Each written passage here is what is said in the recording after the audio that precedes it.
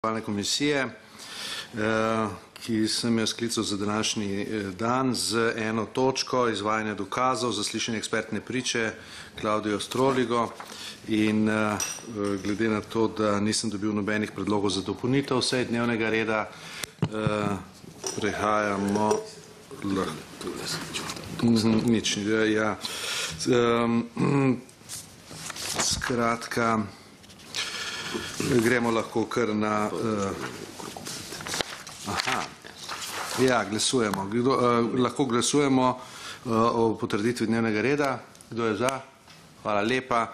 S tem ugotavljam, da lahko pričnemo z delom. Predlagam, da kar pokličemo na podlagi dokaznega sklepa z dne 4.10. gospoda Stroliga, bivšega direktorja Urada Republike Slovenije za preprečevanje pranja denarja kot ekspertno pričo. Prosim, če vstopi. Добрий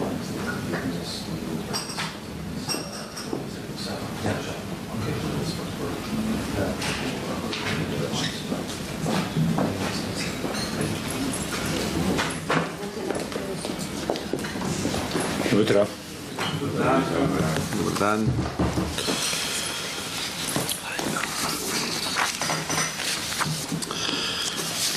Gospod Klaudijo Stroligo, iz eh, priloženih dokumentov oziroma z preverjenjem smo ugotovili, da ste uh, ta pravi tako kot veleva naš poslovnik in pa seveda tudi postopek, ki ga upravljamo na sami preiskovalni komisiji in zato predlagam, da preidemo kar na sam začetek. Zato mi na začetku dovolite, gospod Klaudijo Stroligo, da nekaj povemo vas glede na to, da ste ekspertna priča na naši komisiji eh, kot višji specialist finančnega sektorja v enoti za razvoj finančnega zasebnega sektorja pri Svetovni banki. Eh, do aprila 2012 ste delovali kot mentor Svetovne banke za področje preprečevanja pranja in boja proti financiranju za terorizem za centralno Azijo.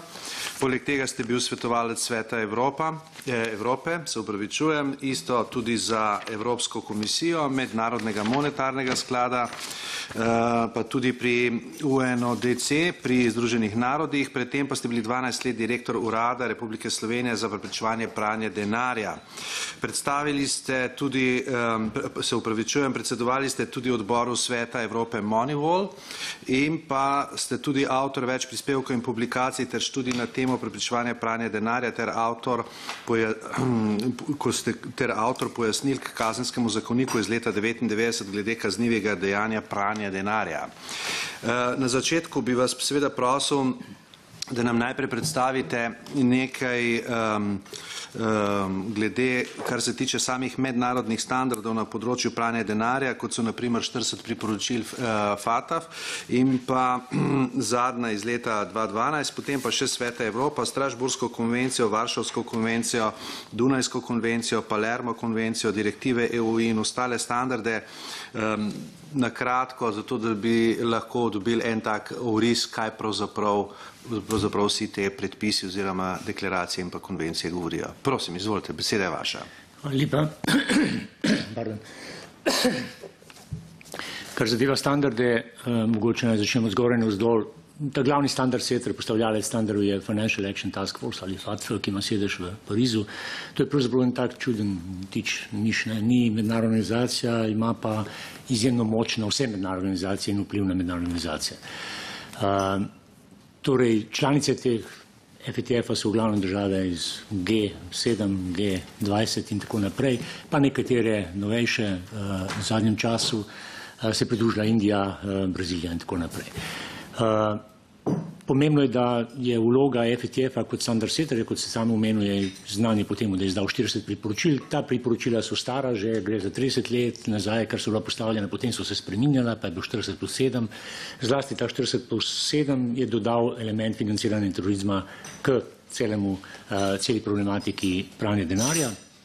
Danes je to vse od leta 2012, imamo vse skupaj in terorizem, in financiranje terorizma in pranje denarja v okviru 40 standardov, 40 priporočil. Uh, treba je povedati, da je na podlagi teh priporočil uh, so nekatere mednarodne organizacije, zlasti Svet Evrope, začele tudi vključevale elemente teh priporočil v svoje konvencije, kar je tako imenovan pravo pravo, ne, hardlo. Med drugim ste omenil Varšavsko konvencijo, sam sem to konvencijo lahko še v imenu Slovenije takrat pogajal. Uh, sem tudi en od avtorjev ostalih členov te konvencije, ker sem sodeloval pri njeni pripravi, preden se je začelo pogajanje.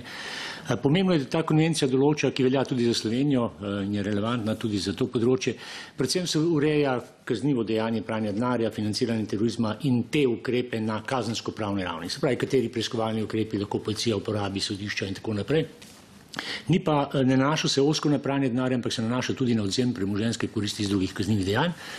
Uh, ima tudi, to je edina konvencija, ki določa, uh, pravzaprav ima nekaj določil, ki se nanaša na urade za preprečevanje pranja denarja uh, in seveda ima cel del področji, ki se nanašajo na mednarodno sodelovanje med državami, med uradi, med različnimi inštitucijami v državah na tem področju. Če predolgo bi trajalo, da bi šel zdaj vse konvencije, pa le eno konvencija, cilj tam je organiziran kriminal, ima tudi kaznivo dejanje pranja denarja notri, uh, starejša je od, od, od Varšavske. Če bi šel še nazaj na Dunajsko, ki je prva določila in zahtevala držav, da kaznujejo, oziroma da določijo kaznivo spranje denarja, uh, ta se nanašala izključno na drogo. Se pravi, če nekdo se ukvarja z nedovoljeno trgovino z mamili, je izkupički iz tega denarja, če je nekdo jih opravil, potem je, so morale države pač to kriminalizirati. Naj rečem, da Slovenija od leta 1995 dalje že takoj v prvem kazenskem zakoniku se odloča, da bo, ne bo vezala kaznivo dejanje pranja denarja samo na določena predhodna kazniva dejanja, ampak kar na vsa. Vse, kar generira premožensko korist, kar potem pomeni, da postane denar umazan in če se nekdo izpolnjuje znake kaznivega dejanja pranja denarja, potem lahko več v nadaljevanju, v tem primeru lahko gre za kaznivo dejanje pranja denarja. Uh, mislim, da ta model all crime, model kot smo ga imenovali, je modern, večina držav gre danes v to, tako da Slovenija ni imela težav s tem, ko se je recimo ne vem, 2012 za standardi FETF, a FETF odločil, da mora biti tudi kaznivo dejanje z področja davkov, davčnih zatajitev, davčnih goljufij vključena v obvezno listo predhodnih dejanj. Tako da to je bilo za Slovenijo relevantno, celo cela regija, lahko rečem, ki je sledila Sloveniji, bivša Jugoslavija, ima ta model, da vsa kazniva dejanja, ki generirajo premožensko korist, če so ta storjena in potem, če se izpolnijo določeni ostali znaki, določajo kaznivo dejanje pranja denarja. Na ravni EU direktiva ravno tako sledi priporočilom FETF, vse direktive z področja pranja denarja, trenutno jih je pet v času, ki ga pre, vaša preiskovalna komisija obravnava, je bila aktualna direktiva 4, torej z področja pranja denarja financiranja terorizma. Slovenija je se uskladila s to direktivo 2007, če se ne motim, je bil zakon, ki je ciljev, ki je bil pač glavni namen tistega zakona iz 2007 je bil, da se uskladi to direktivo. Direktiva je bolj preprečevana, ta, se ne, ta ne določa kaznivega dejanja, elementov kaznivih dejanj, se bolj nanaša na to, kaj morajo delati zavezanci, banke, finančne inštitucije, ostali zavezanci, kakšne so njihove dolžnosti, kaj morajo delati nadzorniki nad temi, torej kakšne so pravila in kaj morajo delati uradi v določeni miri, torej določa te, lahko rečem, preventivne standarde isto sledeč priporočilom FETF. Toliko na kratko. Hvala lepa. Glede na to, da veste, s čem se pravzaprav naša preiskovalna komisija ukvarja in eh, da seveda vam bom postavljal malo bolj specifična vprašanja, ki so bolj ožje usmerjena na to področje, kjer ga pravzaprav mi obravnavamo. Eh, jaz verjamem, da ste iz dnevnega časopisja, glede na to, da ste zainteresiran iz tega področja, spremljali, kaj se je pravzaprav dogajalo na področju NLB-a. Tudi prav tako verjetno veste, da je v državnem zboru že eh, obstaja preiskovalna komisija, ki je v bistvu prišla do odkritja teh podatkov in ne nazadnje tudi vmes predala celo um, gradivo oziroma tudi določena vprašanja v naši komisiji oziroma KNOVSu, ki se ukvarja z nadzorom obveščevalnih in varnostnih služb.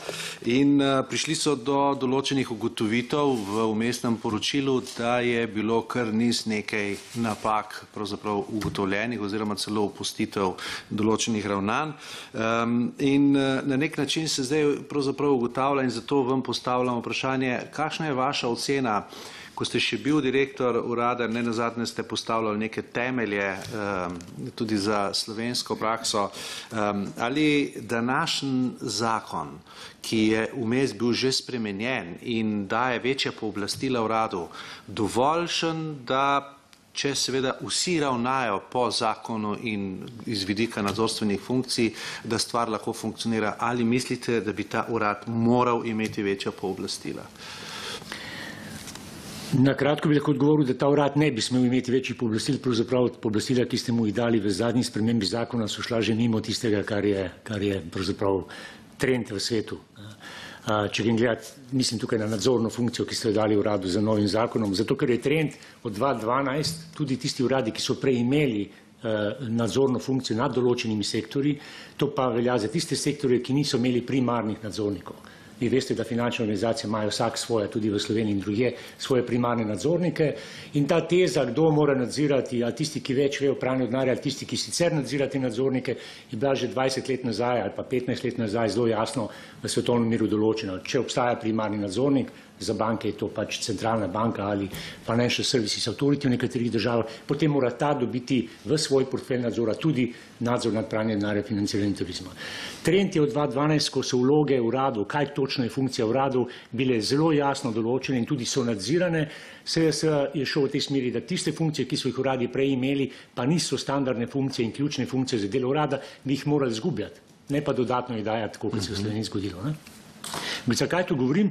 Zato, ker seveda se zgodi to, da tisti uradi, ki imajo preveč drugih funkcij, ne delajo tiste, tiste glavne funkcije, za katere so ustanovljeni. To je pa zbiranje, pridobitev, analiza in posredovanje podatkov. In to, ko rečem to, pomeni v glavnem pridobitev podatkov iz od zavezancev, se pravi kot sumljive transakcije, ki prijavljajo, analiza teh, dodano vrednost dati, se odločati ali ja in naprej posredovati to tožilstvo policijo. To je standard, ki velja za urade. Dodatno k temu je bilo 2012 dodano, da se morajo ukvarjati čez strateško analitiko, k temu se doda nacionalne ocene tveganj, ki so postale zdaj obvezne od leta 2012, ki jo Slovenija tudi opravila, ravno z metodologijo Svetovne banke, mimo grede sem ta projekt jaz prenesel v Slovenijo in v regijo, tako da vem, da so Slovenija na tem področju, lahko rečem, je šla v pravi smeri, tudi zakon na kratko, če rečem, je v ostalih elementih, ki zadevajo uskladitev z direktivo EU-ja, je usklajen v 29%. Ne nazadnje imate oceno Manivela zelo svežo, monitoringa, ki je pač lahko rečem ščerinski monitoring FTF-a za področje nekaterih držav v Evropi. Ta odbor je svoje ugotovitve dal. Te ugotovitve seveda so precej kritične, zato ker je bil zakon sprejet, mislim, da je začel veljati ravno na dan obiska, kar pomeni, da implementacije še ni bilo dovolj dobro. In lahko rečem, da Slovenija, če je kje škripalo v preteklih letih po ocenah, vseh zadnjih 20 letih je škripalo ne toliko v usklajenosti zakonodaje za tem, ampak bolj v implementaciji. In nekaj časa je bil problem sodišč, niso ali pa tožilstvo ali pa tega dela, ker ni bilo, ker ni bilo soj, ni bilo posodilnih sodb, ni bilo nobenih sodb, so zastarale zadeve, zdaj ta problem se preselil pač na nekatere druge področje. In tudi lahko rečem seveda usklajenost finančnega sektora in nefinančnega z standardi, tam imate seveda tudi ocene glede banke, glede bank v Sloveniji, jasno so, da so povsod najbolj rizične za pranje denarja, ne glede na to, koliko dobro delajo. To lahko rečem, da verjetno kakšnih takih zelo, zelo hudih sprememb v tem zakonu, jaz jih od zunaj pa ocenjujem zakone tudi drugih držav, nisem videl. In razen te funkcije, ki ste jo dodali, kar je seveda pravica države, da se odloča, kako bo nadzirala z enim nadzornikom ali z večjimi, ne vidim tle nobene neusklajenosti. Velike je res pa, da se pripravlja že nova direktiva EU, ki bo zlasti posegla na področju virtualnih valut in, in bo dodala pač še neke obveznosti in bo treba verjetno ta zakon spreminjati že zaradi sprejema te direktive in dodajati nekatere stvari, ampak to je, lahko rečem, v krajši bodočnosti se bo to itak zgodilo. Mogoče je takrat priložnost, če boste gledali zakon nazaj, ne, da se takrat pač pogleda, kaj še, če je potreba. Definitivno uradi, to naj še povem, model, ki je bil izbran leta 1994 v Sloveniji, ni bil takrat trendi, ne, ni bil najboljši, ker je ustanovil urad v Ministrstvu za finance z točno določenimi razlogi. Takrat je bil večina v, evropski, v EU držav je imela policijske tipe uradov, danes je trend v svetu popolnoma obraten, že zadnjih deset let, večina uradov je v ministrih za finance ali v centralnih bankah in je približno 70% od 158 uradov, ki obstajajo na svetu. Ta hip, ima tak model, kot ga je izbrala Slovenija že leta 1994 tudi s takimi pooblastili uradov, lahko rečem, da je, da je edino represivno pooblastilo urada je začasna ustavitev transakcij, vse ostalo je pa tako imenovan financial intelligence. Deluje na ravni finančne obveščevalnosti, ampak ne v tem smislu policijskem ali pa tajnih služb, ker seveda nima pooblastil, kot jih imajo ti. To so vloge uradov, to slovenski urad ima od začetka, iz kakšnih posebnih tle dodatnih novosti ali dodatkov ali pa mislim. Ne bi, ne? Ampak, ne, niso potrebni, ne? Ampak kljub temu, ne, glede na ta oris, recimo, ne, z mano se morate strinjati, če bi recimo vas moji kolegi poslanci poslušali, pa mediji, ne, bi rekli, kako se je pa potem lahko zgodilo to, kar se je zgodilo. Ne. Če pa imamo pravzaprav v redu zakonodajo, če urad celo bi mogel celo kakšno pooblastilo zgubiti, ne pa pridobiti, um, da imamo v bistvu na nek način zdaj tudi relativno osamosvojene kontrolorje znotraj bank, tudi ne nazadnje po direktivi in pa po njihovih spremenjenih aktih. Um, zraven pa še regulatorja Banko Slovenije, ki pravzaprav ima tudi svoj vrstno nalogo znotraj nadzora in pregleda. Pa vendar. Kdo je zdaj tisti, ki v resnici nadzoruje pranja denarja? Če sem vas prav razumel, neposredno najprej nekdo, ki deluje znotraj banke, potem imamo kle regulatorja ali urad. Kdo v resnici je tisti? Poglejte, v, v času, ko se je to dogajalo, je zelo jasno, da je edini primarni nadzornik Banka Slovenije, ki ima svoje specializirane ljudi tudi za področje pranja denarja in izvaja nadzor nad vsemi segmenti mm -hmm. poslovanja banke, vključno za segmentom pranja denarja. Kar je seveda logično, zakaj? Ker, a veste, tveganja, ki so na področju pranja denarja in financiranja turizma, so nekoliko drugačne, kot so tveganja uh, siceršnje banke. Uh, a veste, če želi banka dobiti čim več denarja, je seveda pri tveganju iz velika pranja denarja uh, čim več umazanega to ne gre. Ne. Torej, gre za v bistvu neke konfliktne uh, uh, interese, ki jih lahko banka na te, pa banke na tem področju imajo. In seveda je banka Slovenije tista, ki vidi celotno sliko in je prav, da imate enega nadzornika, ki vidi celotno sliko banke. A veste, compliance ali pa usklejeno standardi zahteva usklejeno vsemi, od davčnih do takih predpisov protikorupcijskih uh, in podobno. In pranje denar je samo eden od teh elementov. In seveda, če vidite, da je v, v neki banki veliko stvari narobe, bojo vaši ukrepi kot nadzornika popolnoma drugačni drugačni, kot če boste videli, da je narobe samo z enega področja. Torej, veste, če banka krši ta predpis, ta predpis, ta predpis, ta predpis, potem bojo seveda ukrepi banke Slovenije mora biti drugačni.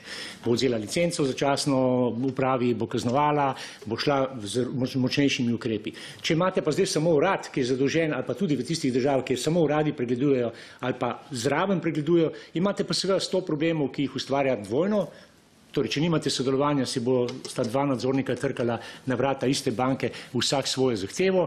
Ta nadzornik, če je manjši, nima niti kapacitet, niti ljudi. Morate vedeti, da je subjektov v Sloveniji, ki jih je treba nadzirati nekaj tisoč, samo odvetnikov imate nekaj tisoč.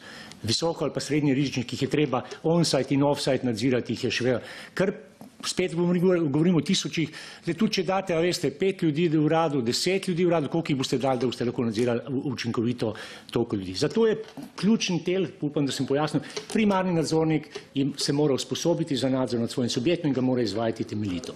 Da odgovorim na vaše vprašanje, predvsem je tukaj pomembno seveda, da vi pričakujete lahko, da državne banke naj bi bile vzor tudi drugim bankam, kar se tiče spoštovanja predpisov. Uh, morda, uh, če dovolite, na temo tega, kar vidim iz medijev, ne, je mogoče nekaj megle, ki bi bilo dobro razčistiti, čisto z vidika stroke. Ne. Uh, pa pridem potem na to, kaj je kaj pravi. Prav, kar izvolite. Ampak z vidika tega, kaj bi banke morali delati. Ne. Ba, morate vedeti, da je 2007 FETF, ki poleg tega, da je standard setter, ima še eno funkcijo, to je monitoring na države in ima še eno tretjo zelo nepriljubljeno funkcijo, to, da določa seznam držav, tako imenovano črno, sivo in različne barve list, ki določa, katere države so tiste, ki ne izvajajo ukrepov z področja pranja denarja. Torej vse so ocenjene, tiste, ki pa ali nočejo biti ocenjene, ali pa nimajo nič postavljenega, ali pa ne, ne zadovoljujejo niti osnovnih standardov z področja pranja denarja, grejo lahko na črno listo. Iran je bil na črni listi že od leta 2007 in je še vedno na črni listi, kot država. Kar pomeni seveda, če tolmačim, kaj črna lista pomeni, to je poziv državam, da od svojih finančnih in nefinančnih organizacij zahtevajo, da vse transakcije s komerkoli, ki je povezan z Iranom, ali to z Irančan, ali pravna, ali fizična oseba, ali gre za transakcije, ki so povezane z Iranom, bodi si odhajajo iz države ali prihajajo v državo, da štejejo to kot visoko tvegane zaradi tega, ker Iran ni bil sklejen s področjem pranja denarja financiranja terorizma. To je prva stvar, ki jo je Ljubljanska banka morala vedeti, ko je stopala v razmerje z osebami, ki so pač, za osebo, ki je, ki je pač stranka bila takrat, če pa ne takrat, pa najkasneje, ko začela dobivati prve transakcije iz podjetja, ki je, oziroma iz banke, ki je iranska. Torej, visoko tvegana stranka po zakonu iz leta 2007, ki je usklajen z mednarodnim standardom v Sloveniji bil, je pomenilo dnevno spremljanje vseh aktivnosti te stranke, zato da vi, rečem, če ste že sprejeli tveganje take stranke, ga morate obvladovati. Vi morate to tveganje obvladovati. Obvladovanje tveganja pomeni, da zmanjšate obseg poslovanja take stranke, zanesljivo mu ne date novih produktov elektronskega bančništva, ker s tem povečujete tveganja in to se vidi iz te informacije. Prvič na tej točki imate državo in transakcije povezano državo, ki je visoko tvegana po celem svetu in ne naredite tistega, kar bi bilo potreba. Se pravi, ta prva linija Že če ste se odločili, da boste sprejeli tako stranko v sistem, ko vidite, kaj stranka dela, a je to, to, to tisto, kar je stranka povedala, da bo delala, a dela nekaj drugega. A veste, obseg poslovanja, ki je šel skozi to banko, bi zahteval najmanj to, da ne pet ljudi iz Ljubljanske banke gre pogledati, če so tisti piščanci res bili kupljeni in tako naprej. To je tak obseg poslovanja. Veste, banka za milijon evrov, ko da kredita, gre gledati, res tisti most grejen, ki smo ga kreditirali, ali ne, ni dovolj, da gledate fakture, da pogledate samo to, ker so tveganja prevelika. Če berete eh, standarde mednarodne, ta tveganja pomenijo v bistvu zelo enostavno, če temu zdaj dodamo, da se je od leta 2010 prav ta banka, ki je izvajala transakcije, pojavila še pa na eni drugi listi, to je pa v resolucijah Združenih narodov zaradi proliferacije, to je zdaj dodaten element, ne? Ki je prišel v neki fazi, ko je ta stranka že bila. To vam doda samo še dodatno tveganje in to tveganje je v bistvu, tako rečem, če nadaljujete poslovanje kot banka s to, pomeni, da riskirate, lahko bi rekel, da je to smrtna kazen lahko za banko. Kaj bi se ji lahko zgodilo? Riskirate, da boste, ne boste, zgubili boste možnost poslovanja v ZDA in ne boste smeli poslovati več z dolari. To je namreč sankcija, ki jo ZDA uveljavlja do tistih bank, ki seveda kršijo embargo. Takšen ali drugačen, veste, da je politični interes ZDA za to, da se sankcije proti Iranu spoštujejo, zelo močen. In seveda se tudi se to vidi, da so tudi prijateljski banke iz prijateljskih držav zelo ostro udarili s kaznimi, ki grejo v milijarde. Ne, razen tega, da seveda bi se lahko zgodilo v državni banki, da, da bi presekali vse korespondenčne odnose. Jaz si pa predstavljate banko državno, ki je največja v državi, ki je pripravljena sprijeti tveganja takrat z visoko rizično državo, stranko visoko rizičnih držav, v takem obsegu, kaj vse je riskirala. Kaj vse je riskirala. Pustimo zdaj, je pranje denarja ali ni pranje denarja, ampak kaj vse je riskirala samo zaradi teh dejstev, da je država bila na črni listi Iran in da je potem postala še konkretne stranke so bile povezane z tistimi osebi, ki so bile na, na seznamih, no, seznamih resolucij OZN. Se pravi, ta preventivna linija očitno ni delovala v, v banki sami, kako znotraj banke, Glejte, ko sprejmete stranko, idealen sistem, ki ga imajo velike banke po svetu in ki je standard, lahko rečem, ko sprejmete stranko, opravite intervju z njo, ko vidite, da je stranka visoko rična, morate zbrati ogromno več podatkov eh, kot pa siceršnje stranke. Se pravi, kaj boste delali, eh, s kom boste delali, kdo je vaš dejanski lastnik, če ste offshore podjetje, rabim dokumente o tem, da vidim, katera fizična oseba stoji za offshore podjetji. Skratka, ugotavljanje dejanskega lastnika, vse to so obveznosti, ki so bi že bile v zakonodaji iz 2007 slovenski. Torej, ko opravite ta intervju zelo podroben, potem pa spremljate vsak dan, kaj ta stranka dela, na podlagi tega presojate, ali je stranka lagala, ni, ali rekla, da bo kovala ne, piščance ali koruzo ali krave ali karkoli in spremljate na dnevni ravni. To je strošek za banko. Torej, ko se odločate za sprejem stranke, mora o tem dva, dva sektorja morate odločati. To je skrbnik računa, se pravi sektor poslovni, če hočete, in na drugi strani eh, pooblaščenec za preprečevanje pranja denarja. Kako je bilo to v Ljubljanski banki urejeno? Zato ima pooblaščenec za pranje denarja, za preprečevanje pranja denarja, mora imeti direkten dostop do menedžmenta, do uprave banke, ne preko petih posrednikov.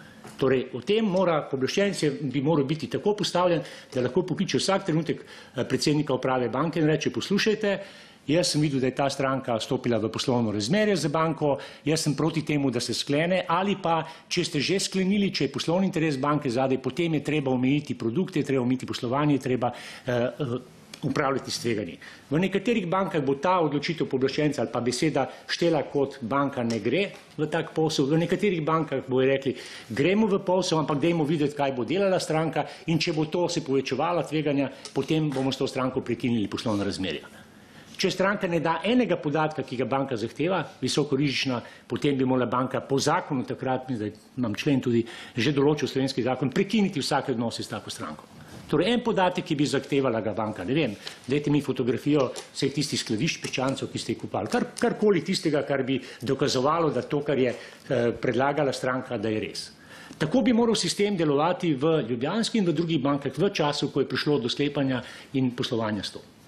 Zdaj, če grem gledati drugi del te zgodbe. V redu, sprejeli ste tega in šli ste vanje, spremljate dnevno transakcijo in vidite, da te transakcije izpolnjujejo znake kar nekaj indikatorjev za prepoznavanje sumljivih transakcij z področja pranja denarja in financiranja terorizma. Ko so prvični indikatorji v banki bili zaznani strani ali skrbnika računa ali njegovega menedžerja, kogarkoli v banki, bi moral to sporočiti pooblaščencu za preprečevanje pranja denarja.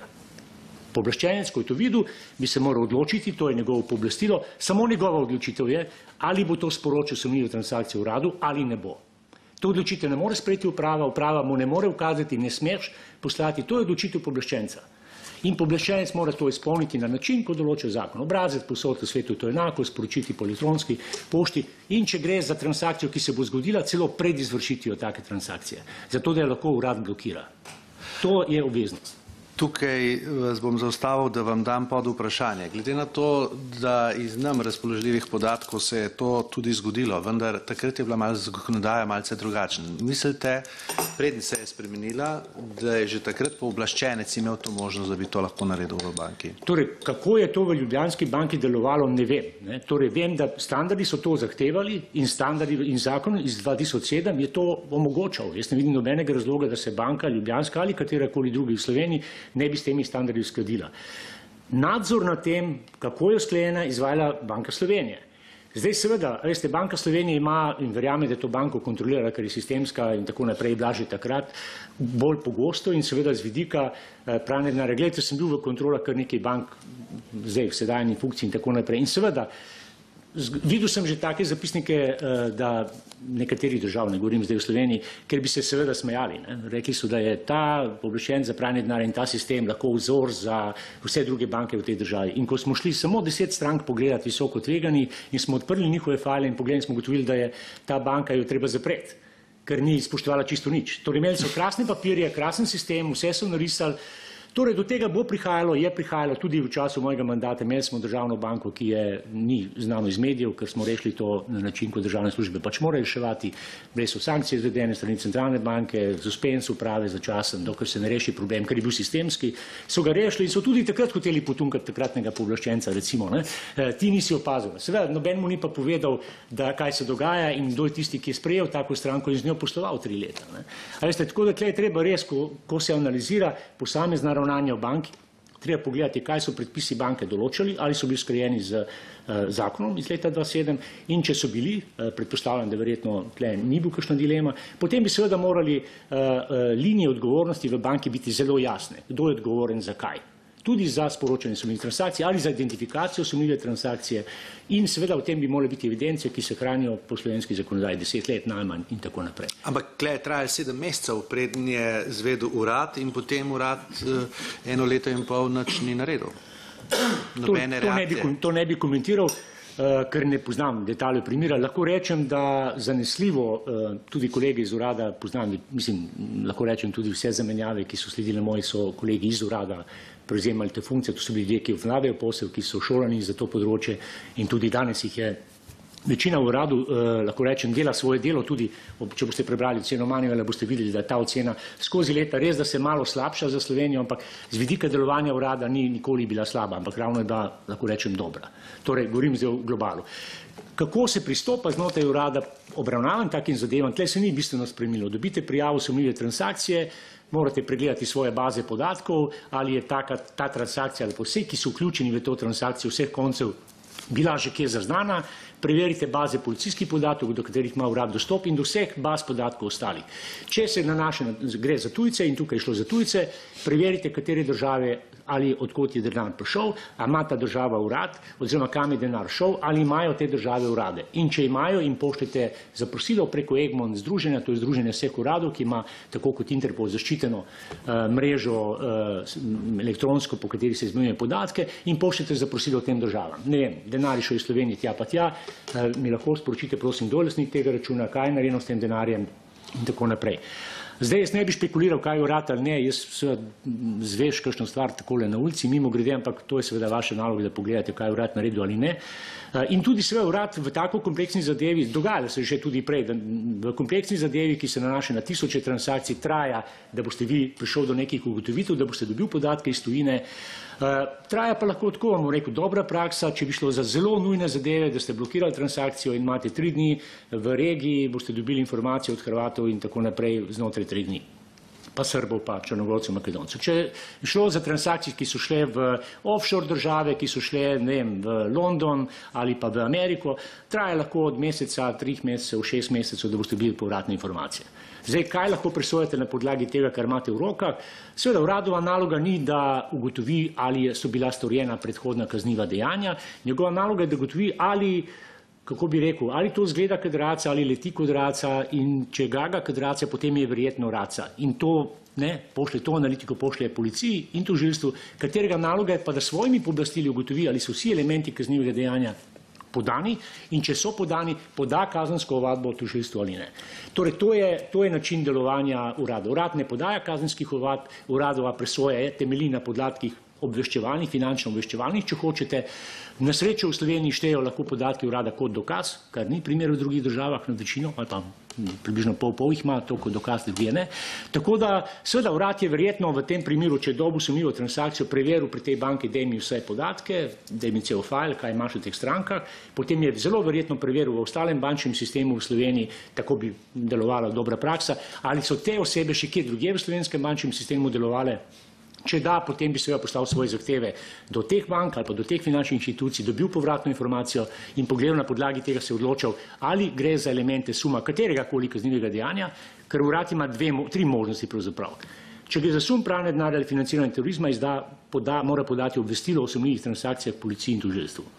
Če gre za sum drugih kaznivih dejanj, pa ne za pranje denarja, torej ne tudi za pranje denarja, potem poda, ima možnost podati informacijo, to je, bom rekel, drug dokument, Ta informacija se pa ne more uporabiti kot dokaz. Recimo v tem primeru, ker bi šlo za tako zadevo, recimo, ker imate tudi države, ki so povezane eh, z financiranjem terorizma, verjetno bi ta informacija morala iti sovi, poleg tega tužilstvu policiji, to bi bila prava praksa in praksa, ki je bila v mojem času, da na podlagi tega, kar vam določa zakon, eh, eh, ker ste organ v sestavi, morate v pomembnejših zadev svojega področja obvestiti ministra.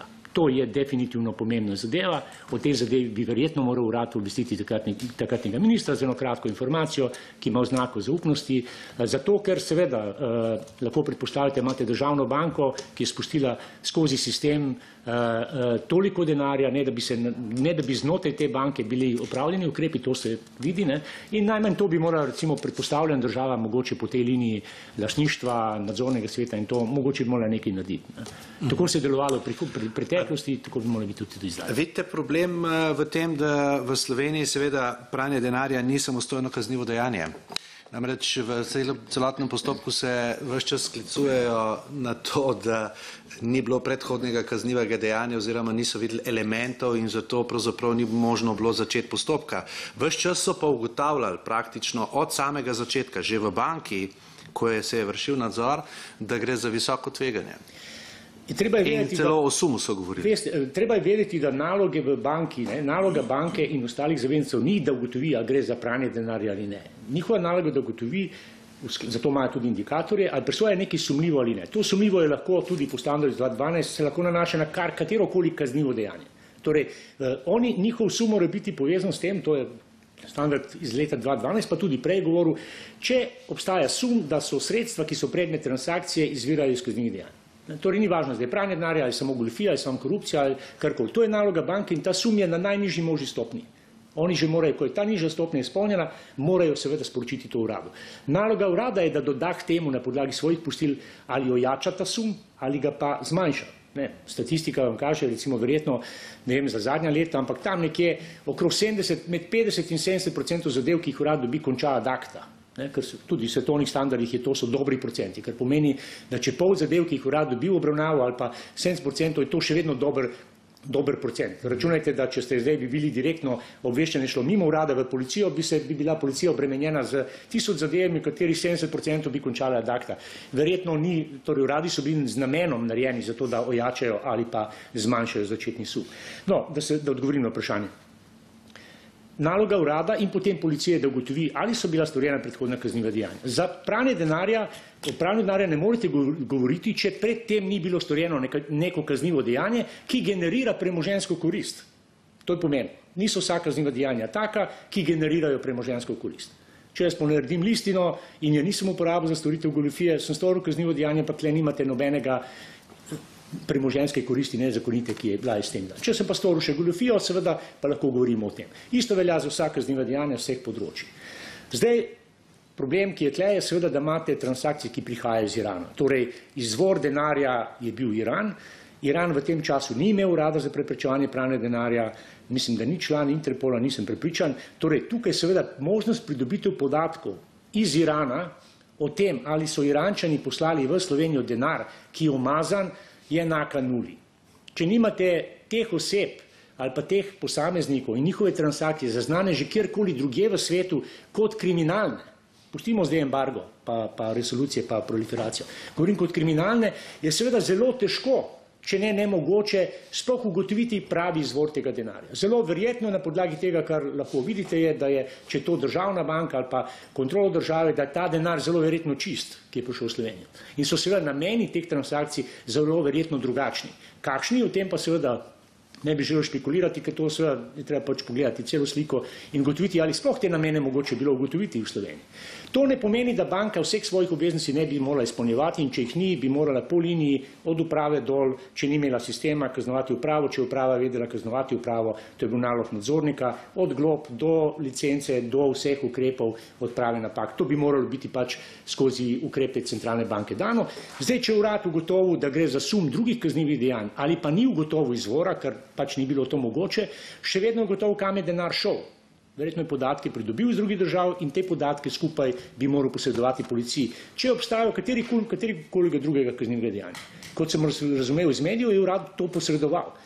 Zdaj pa policija, če bi ocenjeval od zunaj spet, ne vem, kdaj so dobili, kaj so dobili, kakšna je bila kvaliteta izdelka urada, ampak tukaj seveda pri takem obsegu zadev se postavita dve vprašanje, ne samo je storjeno kaznivo dejanje pranje denarja, za katerega smo rekli, da ni bilo nobenega elementa ali pa ga zelo težko dokazati, da je denar nezakonit, ki je prišel v Slovenijo, nezakonit v smislu kaznivega dejanja. Torej, kaj še, kaj še lahko je tukaj? Lahko se pogovarjamo o tem, da zakaj je banka sprejela taka tveganja. Zakaj so ljudje v banki se odločili riskirati smrtno kazen za svojo banko, prekinitev korespondenčnih odnosov, vse, in da so sprejeli taka tveganja. Veste, apetit po tveganji za pranje denarja mora biti enako nula. Ne, očitno ta apetit v tej banki je bil od začetka, ker to je bila visoko tvegana stranka zaradi uh, neusklajenosti, govorimo o Iranu, uh, s področjem pranja denarja. To vam pomeni, da ne, večina bank bi rekla stran.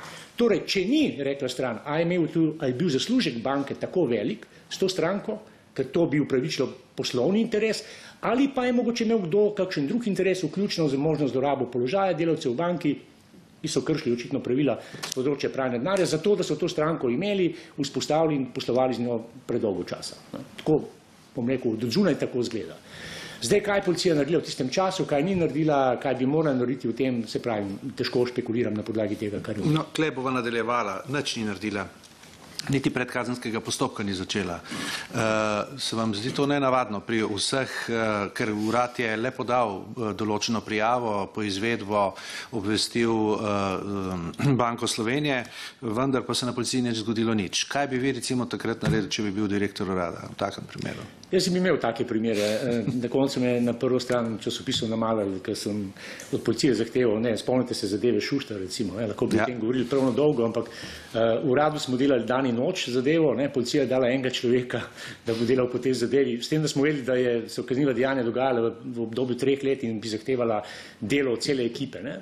Hočem reči, tako, take zadeve so se prej, bil sem v krim službi, pred, preden sem prišel urad, To je prevelika, prevelika zadeva, da bi jo lahko tako enostavno razrešil, ne, rekel, nič ne bom naredil. Ne. Ravno obratno, ne, vse boš naredil, da ugotoviš, kaj je narobe. To bi moral biti princip delovanja policije. Policija je imela vedno, ne vem zdaj, kdo je bil zadolžen v kriminalistični službi, ta izdelek je šel šefu uh, krim službe, uh, tako je bilo praksa v mojem času in ta odredi, kdo bo, kateri oddelek znotraj policije ali pa katera policijska uprava bo zadolžena za delo.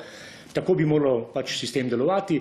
Zdaj poleg tega bi morala policija, urad, mislim, da je eh, še vedno velja takrat in eh, že dolgo časa velja obveznost policije, da če poda kazensko ovadbo za področje pranja denarja, da mora o tem takoj obvestiti urad. Torej urad bi dvakrat na leto ali pa takrat, ko je policija zaključila zadevo, moral dobiti od policije informacijo, ali je podala kazensko ovadbo. Zdaj, če ni podala kazensko ovadbo, je zadeva nekoliko bolj nerodna, ker, veste, lahko bi jo podala čez eno leto, čez dve leti, eh, ker bi jo imela preiskavi. Tako da urad tukaj z tega vidika ni mogel vedeti, če ni se osebno pozanimal, kaj, bi, kaj je policija, kaj ni naredila. Običajen način poslovanja bi bil tukaj, da se policija in urad sestaneta skupaj, Eh, pogledati, kaj bo kdo naredil, obvestiti tužilca v tej zadevi, to bi bil običajni način, ker je bila enostavno prevelika zadeva, da bi jo lahko pometel kar tako. Ker poleg tega suma pranje denarja dali ne, so obstali sumi še možnih drugih kaznjivih dejanj. Sam sem vam omenil pač možnost zlorabo v banki, eh, možno je šlo, ne vem, od financiranja terorizma, od eh, plačevanja kaj drugega. Težko je reči zdaj tukaj, preden ne da bi videl, kakšni so podatki, kako utemeljiti katerikoli sum drugi. Razen tega, kaj je bilo narobe v banki in kakšni so bili motivi banke, da je šla v tak posel. Uh, definitivno dati zadevo to za adakta strani policije, to ni dobra praksa. Zakaj, kako, s kakšno obrazložitvijo, to vam, to pa vam moji kolegi. Še ne dve vprašanje imam strani urada, pa bomo prišli pa na vprašanje še mojih kolegov in koleg, eh, kolegov. Um, namreč zanima me predvsem um, ta odnos, uh, ko urad dobi takšno informacijo od pooblaščenca znotraj banke. Eh, ali uh, urad komunicira samo s poblaščencem ali urad lahko komunicira glede na obseg in uh, bom rekel težo, iz katere je razvidno več ali manj, zakaj pravzaprav gre oziroma kjer obstaja velika tveganja in sumi, s komu v resnici on vse lahko komunicira oziroma tudi po današnji zakonodaji ali pa prejšnji, ko še ni bila spremenjena, bi pravzaprav urad lahko Poglejte, v te, v komuniciral takih... pa je samo s poblaščenkom. Torej, poblaščenci tisti, ki je postavljen v banki za to, da komunicira z uradom, med drugim, ne, poleg ostalih nalog. Zato so bili poblaščenci, to je mednarodni standard, zato so poblaščenci tisti, ki imajo tudi samostojno pravico znotraj banke se odločiti, kaj bojo sporočili in kaj ne bojo sporočili uradu. Zato morajo biti trenirani, šolani in zato morajo biti na nivoju do uprave, da, da so dovolj visoko postavljeni, da lahko take odločitve sprejemajo. Tudi če mu direktor banke reče, tega ne sporoči, je to njihova odločitev in so za njo zadolženi. Podobno kot če imate vem, revizorske službe, ki imajo tudi določeno samostojnost. Urad torej komunicira s pooblaščencem ali njegovim namestnikom, če njega ni. Torej, to je komunikacija, ki velja in ki je standard. V takem primeru seveda če sem prav razumel, je rad obvestil Banko Slovenije, ker če sumi, da nekaj v tej banki ni narobe, ima dve možnosti. Sam lahko zahteva od banke vso dokumentacijo, zahteva od banke, da sproži nek notranji postopek, da ugotovi, kdo je kaj naredil narobe, če bi ugotovil takrat urad, da je kaj narobe, istočasno dela pa po liniji, da je to sumljiva transakcija in zbira obvestila in tako naprej. Torej urad, če je obvestil centralno banko, je to hitrejši način ugotoviti, kaj je narobe, ker bo centralna banka edina, ki je bila podloščena, da pošlje inšpektorje v banko in ugotovi na licu mesta, zbere vso dokumentacijo, vse podatke, eh, kaj je treba narediti. Uh, to je linija, tako bi bilo prav. Zdaj, seveda, veste, ko pa se vidi, kaj je, in če bi recimo urad dobil podatke od centralne banke, zapisnik, ne vem, kako je ta pošta laufala, da se ugotovi, da je to sistemski problem, da se vidi, da banka ni naredila veliko stvari. V primerih prejšnjih, recimo, ko je centralna banka sprožila, postopke z opor upravo takih bank, ki so sistemsko kršile, je bil direktor urada, pa sem bil kot direktor urada povabljen na sejo sveta guvernerjev, ker so odločali, ker so želeli imeti mnenje urada, preden so sprejemali neke odločitve znotraj uh, pristojnosti centralne banke. Tako je, bom rekel, pri takih obsežnih zadevah iz različnih razlogov. Predstavljajte si, da, urad, da bi urad recimo uporabil pooblastilo in blokiral največjo transakcijo znotraj tega posamezno. Ne, recimo imeli smo transakcijo 30-35 milijonov dolarjev. Blokiral vsa, vsa sredstva na računu ali pa vse bodoča. To je lahko za banko likvidnostni problem in tako naprej. Zato to sodelovanje, ki presega zgolj to, kar je v zakonu, je seveda odvisno od uh, uh, konkretnega primera. Uh, verjetno je linija tudi ministra za finance, ki je hočem reči, bil obveščen, torej kaj na po tej liniji bilo narejeno, ne vem. To je dobra praksa. Zdaj je seveda zelo osko gledano zakon, poblaščenci, tisti, ki sporočajo, rad komunicira s poblaščencem, se odloči, kaj naredi in linija je tako, kot sem rekel. Nima pa možnosti, razen tega, da obvesti nadzornika, sedaj ima možnost po novem zakonu iti tudi sam v inšpekcijski nadzor. Jaz se zdaj postavljam vprašanje, to ni dobra praksa, no, tako bom rekel. Uh -huh. uh, zdaj po vaše, glede na to, da je sedem mesecev trajal, da so se pogovarjali in usklejevali, medtem je gospod opravil nekaj več sto milijonskih transakcij, vsa zadeva je tekla nemoteno, nihče ni odreagiral še več. Pooblaščenec, ki je deloval znotraj banke po tistem, kar imamo na razpolago iz evidenc in podatkov, pravzaprav celo naloži in pravi, dokler ne dobimo resnega navodila, stranka posluje normalno. Eh, prej sem vam omenil, da je odločitev banke o poslovanju s stranko, je to izključno odločitev banke.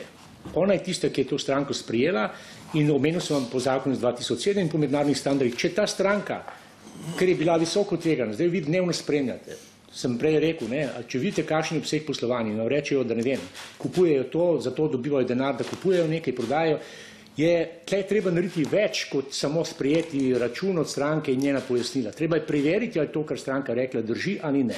Vključno v tem, da bi bilo treba poslati ljudi do dobavitelja, pregledati, ali to ali ne. To bi bila dobra praksa pri takem obsegu poslovanja. Druga stvar, ki je, če ste vi zahtevali od stranke katerikoli podatek in ta stranka ni dala tega podatka, je banka po zakonu bila dolžna prekiniti poslovni odnos s to stranko. Vse transakcije. To je bila odločitev, to je zakonsko odnos banke. Se pravi, karkoli banka, če je zahtevala od te stranke, katerokoli pojasnilo, ni dobila na zahtevo, je njena dožnost bila po zakonu, da prekine poslovanje s to stranko. Ne glede na to, kaj je urad, urad je imel možnost samo pod enim pogojem vplivati na to odločitev banke. Ta pogoj je, če bi šlo za utemeljen sum, da gre za kaznivo dejanje pranja denarja ali financiranje terorizma in ne drugih kaznivih dejanj, v tem primeru zakon določil posebno pooblastilo, da je v tem primeru urad lahko da navodila ustna, kasneje pisna, banki, kaj naj naredi za tako stranko. Ker recimo, če bi šlo za sum, utemeljen sum pranja denarja ali financiranja terorizma, je urad imel možnost začasno zaustaviti transakcije. Seveda, ta sum pomeni, da bi jo lahko zaustavil za tri dni. Zakaj utemeljen sum, zakaj ne več spodnja stopna suma? Zato, ker se pričakuje, da ko bo urad tako odločitev sprejel, da bo tisti hip policijo in tožilstvo se usedel skupaj, da bo vsi naredili vse, kar je potrebno, da se bo tožilc odločil, a bo potem predlagal nadaljno blokado te transakcije ali pa takih transakcij eh, sodišču in potem se preiskovalni sodnik odločil, a bo izdal tako odredbo ali ne. Riskirati to v neki fazi z vidika urada, če nisi res, lahko rečem, skoraj pripričan, da bo sodnik ali pa tožilc tožilc spoštoval tvojo odredbo, je zelo riskantno. Ne? Ali ste lahko za tri dni blokirate, s tem stranka seznanja, da je, bilo, da je državni organ začel delovati in niste naredili nič v smislu kaznivega dejanja pranja denarja. To ne še končam, torej odločitev banke, kaj bo s to stranko, ne more in ni imela nobenega pooblastila banka, da se zanaša, razen če je urad izrecno naročil, poslujte s to banko še naprej, saj jo mi tudi spremljamo in bomo potem se odločali, bomo izdajali blokado. Urad bi pa to lahko naredil samo na izrecno, uh, torej na izrecno odredbo, kar pomeni, da bi moral dati ustno odredbo, o tem bi moral biti uradni zaznamek v uradu, o tem bi moral biti banka narediti uradni zaznamek, da je urad ukazal to in pogoji bi morali biti izpolnjeni, ti, ki sem povedal. Tukaj ne verjamem, skoraj ne verjamem, ker je bilo preveč transakcij, so šle dnevno, da, bi, da je do tega prišlo, ker pomeni, da je bila odločitev o tem, kaj bo s to stranko delala, izključno odločitev banke in dožnost banke.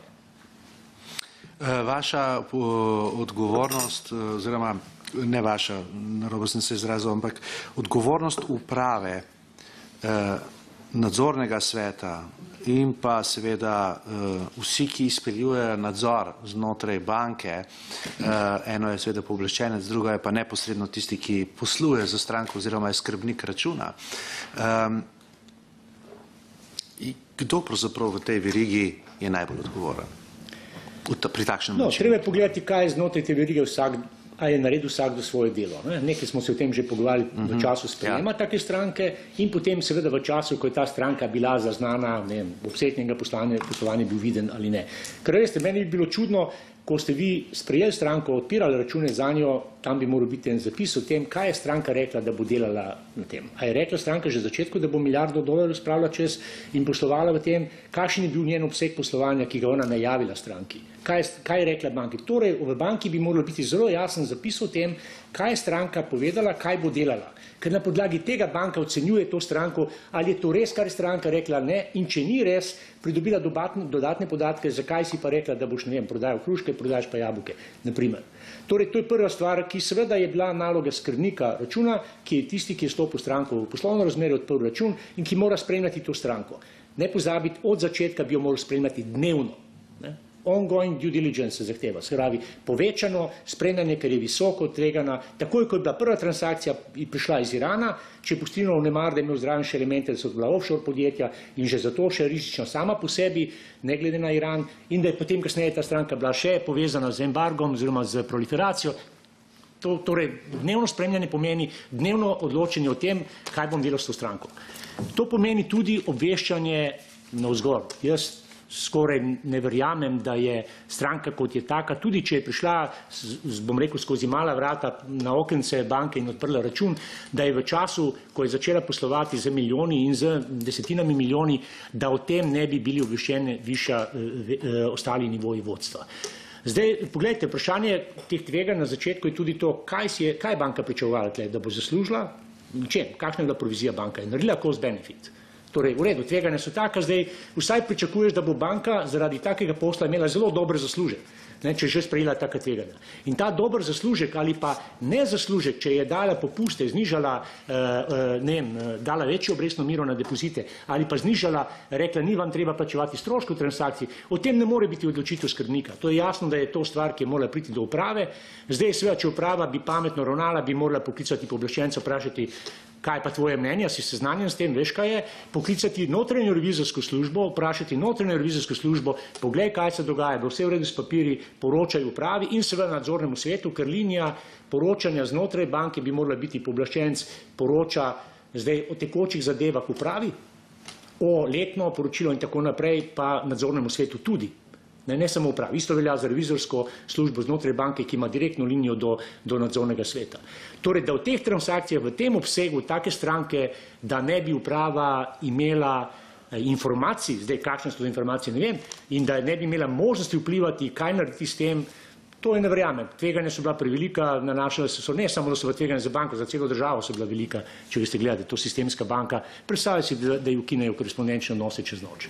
Ne predstavljati, to je praktično vse žile dotočne v državo in iz države, vsaj tisti, ki so povezani z dolari, bi izginili. To je bilo tveganje na koncu, to so morali oni vedeti. In to je tveganje, ki, o katerem odloča nadzorni svet, moral bi odločiti nadzorni svet. Zdaj, ali je ali ni in seveda uprava v prvi vrsti. Ne. Kolega Trček, uh, izklopite se mikrofon. Seveda. To se bomo morali pogovarjati. Ja. Lep pozdrav tudi v mojem imenu, gospod Stroligo. Glejte, to bi rad bolj za kolega, kam začel. Imamo zdaj, čez pet minut se bo začela neka mala proslava v državnem zboru, 25-letnica resnega eh, parlamentarizma. Spoštovani kolegi, mi bomo to zamudili. Zaradi mene. Zdaj, nadaljeval bom tako, ne mi zameriti, gospod Stroligo, moji študenti bi rekli, vi ste top shit. V tem afirmativnem smislu. V eni uri ste nam povedali to, kar so se morali vse kolega in jaz naučiti, ker sediva v Knovsu. Ta zgodba je prišla ven, ker nekemu človeku, ki vodi stranko, za katero pravi viden član te stranke, da v bistvu ni stranka, ampak firma enega človeka, Janez Janši odgovarja. O tem je prišlo preveč v medije. Mi se lahko skoraj vse zdaj pogovarjava, tukaj se pogovarjamo, razen tega, da Matjaš in jaz, ki sediva v Knovsu, ne smeva govoriti, kaj sva videla v nekih konkretnih eh, Excel tabelcah tistih transakcij. Ne smeva tudi uradno tle še povedati, kaj so tajne službe drugih držav, sporočale sovi in tako naprej. Ne. Zdaj, glede na to, kar ste vi povedali, eh, zakaj ste top shit vrhunski strokovnjaki, ste to tudi postavili pri nas. Vi ste dejansko rekli, če je kje šepalo, je v implementaciji. Mi smo ljudje, ne? Denar pere človek z nekimi interesi, perejo ga kriminalne združbe, pogosto v vezavi s politiko, pere ga politika, imamo kakega državnega sekretarja, ki se je skorumpiral gor in dol, ste omenjali uh, neko zgodbo in to nadzirajo ljudje, nadzira človek. Nadzirajo v nekih približno resnih zadevah vrhunsko šolani uh, strokovnjaki. Zdaj neki gospod, ki sem ga prej omenil, rekel se dela, da on o tem ni bil obveščen. Ne? O tem je bil, prišlo je v medije obveščen cel državni vrh. Ključno svetom za nacionalno varnost, kjer ponavadi sedi predsednik največje opozicijske stranke, v tem primeru Ivan Janez Janša. Zdaj, kaj ste vi povedali, če bom uporabil vaše metafore na kratko? Ne? Povzetek tega, kar ste vi povedali, je dobesedno tako. Nekdo se je vedel kot slepa kura in ni šel preveriti piščance, čeprav je zgledal, da nekaj zgleda kot raca in leti kot raca. In ni šel pogledati, a je to raca ali ni.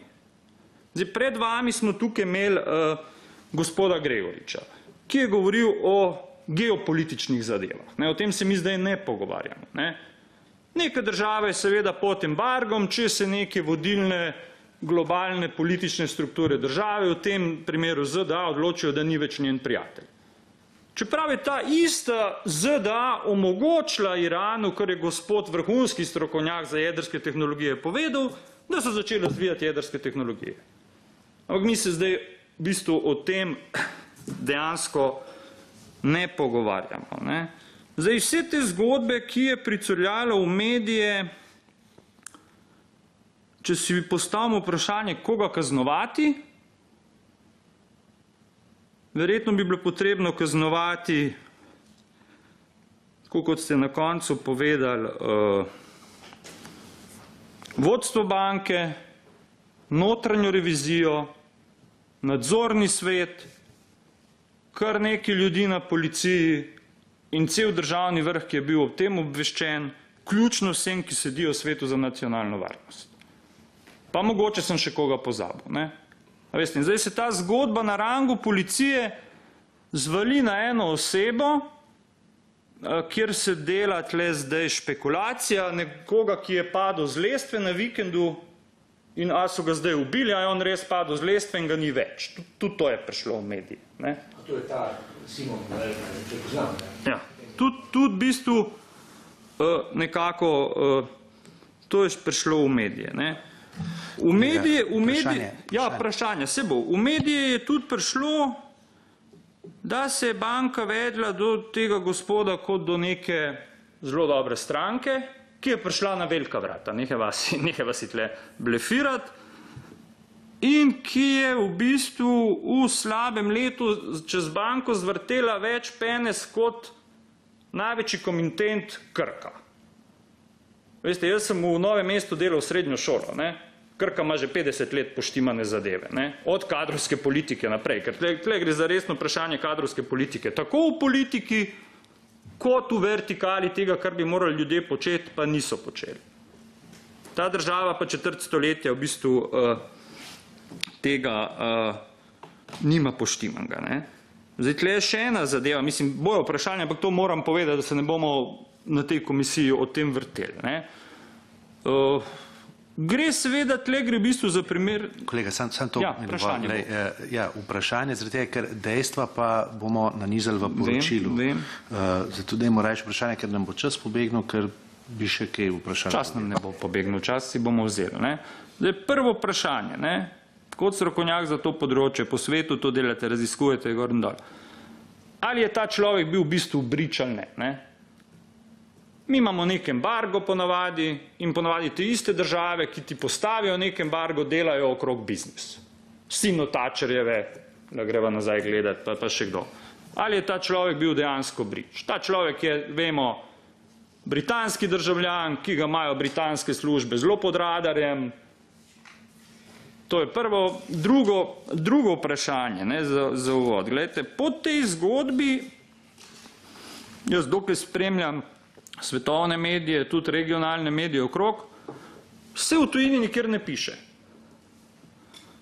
Skratka, drugo vprašanje, ali je ta brič, ne, ta most, skratka, imate nek embargo, najdete nek, nekega človeka, ki izvira iz neke države, ima potni list neke resne države, resne, tel se malo mogoče želil do Irana, in vrti celo vrsto denarja, da ta isti, ki te dajo pod embargo, čez ovinke služijo denar. Veste, mi smo imeli vojno, pa je fabrika ribih konzerv Rovinj preko Mačarske JNA-ju prodajala konzerve za suhi dnevni obrok še naprej. Ne? Tako, vi, vi zelo lepo metaforično poveste, bom tudi jaz. Ne? E, skratka, ali nam je nekdo to potaknil? Zdaj, če govorimo o tveganju za državo, ne? Če gre za neko sistemsko banko, ali nam je v tej luči tudi nekdo to potaknil. Ne? Nam itak hoče Evropska unija odrezati jajca tej e, sistemski banki, ki več kot pol dobička naredi v regiji, mi smo izvozno gospodarstvo in seveda neko resno izvozno gospodarstvo potrebuje tudi cash flow lastne banke v regiji, e, ki e, v bistvu e, delujejo. In četrto vprašanje. Ne, mi imamo to tako urejeno, da je bilo to v tistem trenutku na Banki Slovenije. Z Banko Slovenije imamo v resni politiki zelo blazne težave. Ne. Banka Slovenije se do nas vede v bistvu kot mi smo država v državi in se po, po, običajno skličuje na Evropsko banko. Ne. Ne, ne boste vi pa nas kaj preveč, uh, preveč uh, pregledovali. Ne. Zato bi rad tudi ta komentar uh, glede uh, Banke Slovenije in še neko dodatno peto vprašanje. Ne, mimo uh, delo te komisije razširjali tudi na neko problematiko, ki se je dogajala v Mariborski banki. Ne. Uh, ali je Italija na sivi listi ali ne. Veste, in če sklenem ta niz vprašanj, če jaz kot relativno nov politik, ki pridem not, pogledam to zgodbo, mi smo imeli po eni strani politični vpliv, bolj, dajmo reči, socialno-demokratsko, liberalni čez Ljubljansko banko, desnica čez Mariborsko banko. Ljubljansko banko zgodbo lahko opišem kot Trump zgodba, tisto zgodbo Mariborsko lahko opišem kot Putin zgodba. In zdaj smo pa, ki bi rekli, v Mariboru, v buli, v kateri smo. Upam, da boste odgovorili na vprašanje. Hvala. Uh, ker preklopite se na mikrofonu. Izvolite, beseda vaša. No, ne bom odgovoril na vse vprašanje, ker presegajo tisto, kar naj bilo vprašanje z področja stroke. Vse, vse veste, ne želim vstopati v neke politične debate, bom pa dal komentar, kolikor ga lahko dam. Ne. Uh, me boste morali na kakšno vprašanje spomniti, ker sem mislil, da sem imel eno, pa ste mi povedali tega. Najprej brič ali ne, oziroma kršitev embarga ali ne. Spomnite, kako sem začel danes razlagati, da treba vedeti, da preden je prišlo do embarga zaradi proliferacije in tega. Preden so Združeni narodi izdajali resolucije, ki so ciljale to banko, ki je, bila, ki je nakazovala denar, je veljala že to, da je Iran na črni listi ne zaradi jedrskega orožja, ampak zdaj, ker ni nič naredil na področju pranja denarja in financiranja terorizma. Zato je Iran še dan danes na listi, ne zaradi embarga, zaradi jedrskega orožja ali pa, če hočete, političnih vplivov. Ne? Mogoče taki. Res, da je v FTF-u tudi ZDA ima močen vpliv, je pa res, da tudi ZDA sam del problema, ker ni spoštoval v določenem času ali pa kvalitetno standarde mednarodne in je ta pritisk mednarodne javnosti tudi na ZDA, če hočete, so razmerno močen. In je začela spreminjati svojo zakonodajo mimo grede. Tako da tukaj bi težko rekel, da so uh, uh, listanje, črno listanje uh, Irana, to ni imelo zveze z proliferacijo, do katere je prišlo kasneje. To je treba vedeti. Na Iran je še dan danes je na črni listi, ker še dan danes ni naredil tega, vključno, da nima sporočanja sumnih transakcij znotraj svoje države in tako naprej. To, zato je to meni pomemben podatek, ker ta se v, vsaj v tem, kar je v medijih zelo spregleda. Ne. To tveganje ni bilo zaradi tega, ker je nekdo poskušal se izogniti embargu. V času, ko je ta stranka bila sprijeta, ni šlo za embargo, vsaj ne za te izključne stranke. Res so bile iranske banke že na te peti določene resolucije, so poleg Koreje Iran že ciljale, ampak ne izredno ste imeli seznam držav, tistih, ki so bile gor in te, te banke in teh strank ni bilo gor. Ne? Torej, težko bi rekel, da je šlo za kršitev embarga neposredno ali pa da bi bilo to mogoče vidno. Zdaj, imate prav, kršitev embarga je seveda lahko uh, priložnost za zaslužek. Ne? V stari Jugoslaviji, ko je bil embargo zopr Srbije, sami ste omenili nekaj primerov, jaz lahko dodam še ne deset, imeli smo celo take primere, da so zgledali kot pranje denarja, ampak na koncu se prišlo do tega, da je kršitev embarga v Sloveniji bila takrat gospodarski prestopek za podjetje oziroma prekršek. Če je nekdo zasluži denar iz prekrška, to ni pranje denarja. Tudi če je delal še tako skrival, še tako je zaslužen, ampak to je bil prekršek, pranje denarja se pa nanaša na denar iz kaznjivih dejanj. Uh, ZDA lahko vplivajo na izdajanje resolucij, niso pa edine. V resolucijah varnostnega sveta odloča se o varnosti svet. Torej, Iran je prišel gor zaradi tega. Skratka, to so uradni dokumenti, ki so jih dolžni spoštovati vse članice eh, Združenih narodov. Kršitve, lahko bi vam naštel kar nekaj primerov ameriških bank, ki so jih ameriški nadzorniki kaznovali, tudi zato, ker so kršile embargo. Tudi zaradi Irana. Zdaj, ali so pa ob tem tolerirale prej sem omenil nekaj takih bank, tudi iz prijateljskih držav, od Nemčije do Velike Britanije, ki so bile kaznovane strani ameriških regulatorjev z milijardnimi kaznimi ali pa milijon, zelo obsežnimi kaznimi, kar pomeni, da tukaj verjetno težko rečem, da je zdaj bil en del z, zdaj pa dovoliti Sloveniji, da pa to izpelje, ne, pa nič se ne bo zgodilo. Ne. Mislim, če govorim zdaj o kršitvi embarga, ki do katere je prišlo kasneje. Ne vem, eh, težko rečem, ker ne presojam zdaj znotraj tega, kar, kar smo se pogovarjali, kaj bi moralo biti narejeno v Sloveniji, sem vam povedal. Eh, to, kar je moje mnenje. Kaj kakšna služba po dobri praksi mora narediti, mislim, da ja. Kaj bi moral politični vrh, ko je bil obveščen o tem in eh, eh, svet za nacionalno varnost narediti, linije tle veliko, lahko, lahko rečem, seveda špekuliram, ne? lahko rečem, kaj bi jaz naredil, ampak nikoli v tem svetu nisem bil. Logika državna pa je ta, da seveda nekaj bi moral narediti. Ne, ne, bi mogel, ne sme se zgoditi to, da ko si ne, v nečem obveščen, da potem stvari teče še kar naprej, kot da se ni nič zgodilo ali pa vsaj predolgo. To je, tako bom rekel, zelo, zelo na glas, pa verjetno edina špekulacija, v katero uh, sem pripravljen. Uh, Ita, Italija ni na sivi listi, nikoli ni bila, bila je Avstrija na črni listi, mimo grede. Italija ni bila, je pa res, da je od leta 1995, kar smo imeli urad, bil delež problematike italijanskega omazega denarja, velik delež zadev v uradu. Tudi določene prvi predmeti, ki so prišli na sodišče v Sloveniji, takrat so bili povezani z Italijo, zlasti z italijansko mafijo, ki je delovala v Milanu. In tle ste imeli vse, od droge do, do ilegalne prodaje cigaret, do uh, ilegalne prodaje alkohola, skratka je šlo za vat, uh, kršitve vata oziroma neplačila davkov, od davčnih do zelo hudo kriminalnih zadev, ki so bile povezane z umori, z mafijskim in tipom organizirane kriminala v Italiji. In seveda so koristili praviloma, so uporabljali banke, ki so bile ob meji. Sebaj, Goriško takrat, to, kar je bilo, tam smo imeli največ primerov. Hrvaška tipologija je bila zaradi privatizacije na Hrvaškem, bila bliže Brežicam, meji s Hrvaško. Zdaj, Mariborska banka je bila dosti krat vključena, imeli smo podatke, eh, ki, ki so jih oni posredovali ali pa smo za njih zvedeli, eh, ki so bili povezani ne z, prav, z italijani zanesljivo ne. Ne spomnim se niti enega primera tako iz glave, da bom rekel, da je bil vezan na, na, na to, da bi italijani prišli tja. Zdaj seveda govorim pa, če so prišli do banke ob meji, ne, ki je eh, v lasti Mariborske banke, v Maribor niso, no, to sem hotel reči. Ta tipologija, medijih sem videl, je kliče italijanska, je bila vedno prisotna. Logika delovanja banke je popolnoma enaka kot tam. Če vi vidite, da vam v isto banko pride kar nekaj strank iz iste države v nekem kratkem času, uporablja isti mehanizem, ne vem, podjetje v imenu offshore odpre in vidite, da isti, isti način poslovanja ima, se strinjam, ne, mislim, da je kolega uh, Gregorič rekel v mediji, da bi morali zazvoniti vsi alarmi. Ne. Torej, zato, ker so indikatorji podprti z, večina teh bi morala biti podprta z softverom v banki, to bi moralo priti na mizo pooblaščenca, ki bi moral reči, to ni v redu. In se odločiti prvič, obvestiti urad, se odločiti, ali so sumi kaznjega dejanja ali ne, v konkretnih primerjih s konkretnimi strankami, ker je šlo pa verjetno tudi za sistemsko zadevo, zanesljivo obvestiti vodstvo in zahtevati od njega, da nekaj naredi z upravljanjem tveganj s takimi strankami. Upravljanje tveganj pomeni zmanjševanje tveganj, zelo enostavno povedano. Ker pomeni, da s temi strankami vi, če jih še imate, če jim niste prekinili odnosov poslovni, potem jim ne date nobenih dodatnih produktov, jemljete jim tiste možnosti, omejite jim na poslovanje na tako, da ga lahko kontrolirate. Torej, ne dovolite mu več, da pride s kešem, pa ga poliži v, na, na bančno okence in ga čez dva dni ali pa isti dan nakaže nekam v tujino. Ali pa mu ne dovolite več, da prejema transakcije iz offshore podjetij. Vse tisto, kar povečuje tveganja, ker ne veste, odkje je ta denar. To je pravi način ravnanja znotraj banke. Ne, obveščanje, kaj potem do urada, kakšni so pa odvisno od konkretnih sumov, konkretnih oseb, kaj so delali, šlo tle za davčne zatritve, šlo za druga kazniva dejanja. Ta sumljivost na začetku bi pa morala biti zaznana in banka bi morala do nje ukrepati.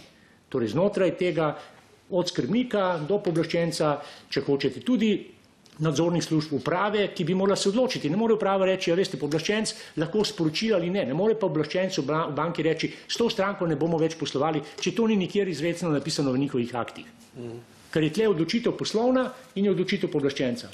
V banke, ki sem jih jaz videl, nekje prevlada odločitev poblaščenca, bo rekel direktor banke, bo rekel, poslušajte, če meni poblaščenc reče, ki je izkušen, ki zna, reče ne s to stranko poslovati ali pa prekini odnosi, jo bom, bom jaz ukazal, se prekinejo poslovni odnosi.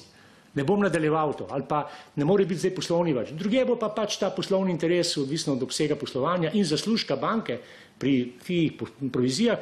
Veste, če veliko krat se zgodi, da banke pravzaprav tega odnose, tega izračuna, niti ne naredijo. To, kar sem sam videl, je žalostno, ne? da pravzaprav grejo za rizično stranko, poslujejo in imajo večje stroške poslovanja, ker morajo dnevno spremljati transakcije, sporočati in tako naprej, voditi evidence, ne, kot je pa zaslužek dejanski. Ne? To je tisto, kar je žalostno. Jaz ne vem, kako je to delovalo v konkretnih bankah, eh, v teh primerih, ampak verjetno bi bilo dobro pogledati na ta cost benefit, če so že ustrajali s tako stranko naprej, a je ali ne.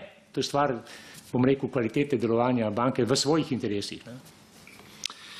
Ja, uh, upam, da sem še po vsa vprašanja, lahko pa da sem kaj pozabil. Ja. Uh, izklopite se mikrofon. Kolega Trček. Ja, hvala. Vse v bistvu ste povedali bistveno. Dobro, jaz sem politik, vi seveda svoje strokovne pozicije, če bi mene spraševali o neki mojih strokovnih zadevah, bi tudi verjetno uh, govoril podobno kot vi. Zdaj, uh, povedali ste, omenili ste nekaj, evo, ko pa prihajamo iz stroke, ne? software v banki. Ne? Mi živimo v 21. stoletju prišli ste iz nekega na to pozicijo, če sem prav razumel vašo, vaš CV, iz v bistvu kriminalistike, ne? sem pravilno razumel. Ne? Oba dobro veva, da v vsaki državi prihod tujih gostov, ki so v hotelih gor in dol, soval čukec gleda. Vsaki resni državi, zraki resni državi se to počne, da se, da se bomo nehali blefirati. Uh, Intelligent service si izmenjuje te podatke. Ne. Je to vedno sicer na pol odprti poker, ne. ene karte imajo odprte, neke skrivajo eni pred drugimi. Ne. Tudi to je prišlo v medije. Ne. Skratka, sedanji ministr Koprivnik zelo rad govori o e-oblaku. Dobro, imamo prišanje, privacy issue, ne. varovanje zasebnosti. Ampak mi imamo nek organ, sovo, ki ima sindikalne težave, pustimo stati, ki mora početi, kar mora početi. Imamo informacije, ki jih oni dobijo. Software na banki, verjetno jaz že 30 let ne programiram, pa če bi se usedel par dni, ali če bi se mi dva skup sedla, pa malo pogooglala, bi sprogramirala, da tam, ko gre na transakcijo na neko sumljivo banko, začne blinkati. Blink, blink, blink. Ne? Uh, To je, bom rekel, ta tehnični del. Ne. Zdaj, uh, govorili ste o upravljanju s tveganji, ne govorili ste tudi o cost benefitih, pa ne bom dolg, Jani, obljubljam. Jaz, ko sem padel v parlament, ki se mi je res zgodil, sem tako po parih tednih ugotovil, pa se tle se noben resno ne ukvarja, kot jaz to rečem, ne razmišlja o penezih. Kaj šele o cost benefitih, ne? Mi imamo predloge zakonov ne, in pa imaš tam tudi tuno šimeljno, veste, ne, kak je to glede penes, tam se pač nekaj napiše. Ne. Zdaj, vse ta problem, ki ga imamo mi v Sloveniji, bančna luknja in tako naprej, ne, v veliki meri, ne vem, to je naslednje vprašanje izvira iz tega, kar ste vi rekli. Ne. Jaz sem se zelo dobro pozanimal, kako so delovale naše banke, kako še zdaj delujejo, ne, da v bistvu pogosto teh osnovnih nalog ne opravijo. Ne. Če, bi, če, bi, vem, če, bi nek, če bi študij ekonomije bil dovolj resen v Sloveniji, pa nek pripravnik, ki bi ga v banko dal, pa bi rekel, da Janes malo to poglej, ne, ali Franc ali Micka, bi verjetno v, v, v pol šihta, ne, v štirih urah ugotovil, bi rekel, čakajte fanti, to pa cost benefit, to pa ne pije vodo tle, ne, to je pa, kot bi rekli moji študenti, jeba, ne, tega se pa ne bomo šli. Zdaj, uh, Sam dve naslednji vprašanji bom še imel. Ne. Eh, če poblaščenec, ki je seveda tle neka ključna oseba na vse zadnje, ne, poblaščencu mora najprej nekdo povedati, ki bedi nad temi zadevami. Ne. Nad temi zadevami lahko po eni strani bedi umetna inteligenca, ne, imaš ko sprogramirano, da ti začne to blinkati. Pa imaš človeka, ki gre to pogledat. Pol vi sami dobro veste, da nekdo lahko razbija pakete, pa so zneski nižji, so pod tistim zneskom, banke imajo praviloma tako do 15 ur, 30, kakor, kakorkoli že imajo, ne? kaj je sumljivo, kaj ni, kaj ni sumljivo. Tudi tle imaš lahko software, ki ti nekako začne, začne uh, v, v, v bistvu blinkati. Ne? Zdaj, če nekako uh, vodstvo reče, in tle sta podobna problema, v Mariboru je bilo še to v bistvu hujš, če nekako pooblaščenca, ko v tistem, veste, midva so dovolj stara, se spomnite Benny Hilla, ki je tistega vedno tepel po glavi, ne, če reče vodstvo bum, bum, bum, bum, daj tih bot, ne, v Mariboru so tisto gospo potem celo odpustili ali šla, ne, ali ni naloga pooblaščenca, da pol obvesti saj nadzornike, nadzorni odbor banke, da reče, počakajte, gledajte, vi ste odgovorni za to, kaj ta banka počne, ne, vodstvo se ne vede odgovorno. Eno. Druga zadeva, ne, iz teh vaših bogatih strokovnih ekspertiz mi imamo velike težave z žvižgači v Sloveniji. Zaščita žvižgačev. Boljša, boljša, boljša zaščita žvižgačev. Zakaj? Tudi iz tega, da se, uh, kako bom rekel, da se dejansko zmanjša ekscesnost. Ne? Ker mi imamo, pri nas imamo ta primer, pride v medije, zagrabi to Pop TV, ki so ga zdaj mingrede američani kupili, ne, in pol se dela halo, ne, dela se pa to, kar bi se morali delati, ker je odgovorna naloga politike na vse zadnje. Da pogledamo, kot ste sami rekli, zakaj implementacija šepa. Vi kot vrhunski strokovnjak ste vzpostavili z ekipo, z ljudmi, ki, ki so se našolali, ki so na uradu, dober, če sem pravilno razumel, up-to-date zakonodajni okvir. Zakaj to šepa? Ne? In zdaj še neko zadnje vprašanje. Ne? Mi se tle v bistvu pogovarjamo tudi o korporativni varnosti. Ne? Vi ste razlagali nam seveda, da tle rabiš neke vrhunsko našolane ljudi, ki, ki to počne. Ne? Zdaj, saj v primeru Mariborske banke je šlo po prijateljski liniji, ko so neki v ljudskem jeziku bivše špicle, ki se v osnovi s tem niso ukvarjali, pa koliko sem jaz znan, niso vrhunsko našolani, postavljali na funkcije ljudi, ki se bojo ukvarjali s tem. A ni to neko preveliko sistemsko tveganje? Tudi sistemsko tveganje za državo. Tle bi se ustavilo. Hvala. Ja, predno odgovorite na vprašanje, sem to, vas upozarjam člani, ta komisija nima še pristojnosti za eh, nad Mariborsko banko, zato bi se omejili samo na NLB, eh, tako da to je treba le ohraniti eh, še to meja. Eh, kolega, eh, imaš besedo.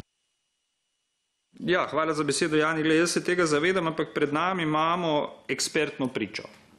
In ekspertno pričo mislim, da moramo v tem afirmativnem smislu uporabiti, ne pa zlorabiti, ker drugače, ko bomo dobili to razširitev, bom seveda zahteval, da gospoda Stroligo pokličemo še enkrat in se bomo pogovarjali ekspertno o tem drugem delu. Hvala. Kolega, zdaj iz vidika postopka se da vprašanje postavlja tudi tako, da boš dobil tudi ta odgovor. Jaz sem želel opozoriti sam na to, da dajmo se fokusirati na NLB.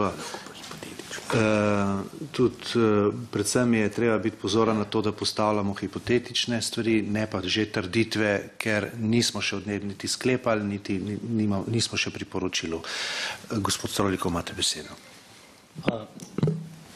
Tema softverska podpora sumljivih transakcij da ali ne, različne banke imajo to drugače urejeno, različno ponovadi gre to po liniji, kaj ima mama v Avstriji ali pa v Franciji ali pa v Italiji, ponovadi ima tudi ščirka v Sloveniji, isti softver in podobno. V Ljubljanski banki to ni problem softvera. Transakcije in poslovanje, ko je prva transakcija prišla iz Iranske banke v Slovenijo, je ta stranka, če prej ni bila, bila visokorizična, postala tisti hip visokorizična. Čim ste imeli, in to pomeni dnevno spremljanje vseh transakcij, ne tisti, ki jih softver zazna po kriterijih, dnevno spremljanje vsakega prometa, vsake transakcije, vsakega dokumenta. To pomeni ravnanje v skladu z zakonom iz 2007 obveznost, ki jo imela vsaka banka do ravnanja s takimi strankami. To, to ni vezano na softver, kaj bo dal, kaj ne bo dal. No? In to pomeni dnevno spremljanje, pomeni strani skrbnika, verjetno obvestilo takoj poblaščencu in vlogo njega zdraven s tem. Kako je to v banki potekalo, ne vem. Ne? Torej, verjetno je v svojem zapisniku Banka Slovenije, če prav razumem, šla v kontrolo in je morala te ugotovitve imeti.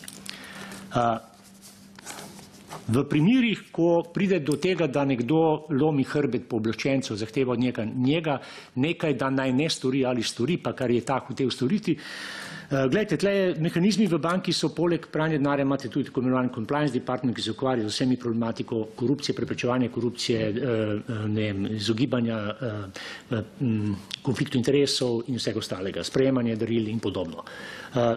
Včasih so oddelki za pranje denarja del tega širšega compliance, včasih samostojni, odvisno eh, nimate samo enega modela tle. Torej, definitivno, če je nekdo nekaj neprimernega naročil nekomu, bi moral ta oddelek biti ravno tako obveščen v banki, da je nekdo nekaj naredil, kar krši etične standarde, predpise notranje banke, če ta banka vlasti tujih držav, oziroma drugih, ponovadi so ti predpisi usklajeni in tako naprej. Se pravi, znotraj banke je kar nekaj mehanizmov, poleg tega, ki ste ga omenil. Nadzorni svet, gledajte, večina, večina zakonodaj in držav držav določa, da pooblaščenec ne obvešča direktno nadzornega sveta o tekočih zadevah. Obvešča ga verjetno enkrat letno z letnim poročilom svojega področja, ker nadzorni svet gleda to bolj strateškega vidika, se pravi, da odločanje, poročanje pooblaščenca do nadzornega sveta v praksi gre v letnih poročilih.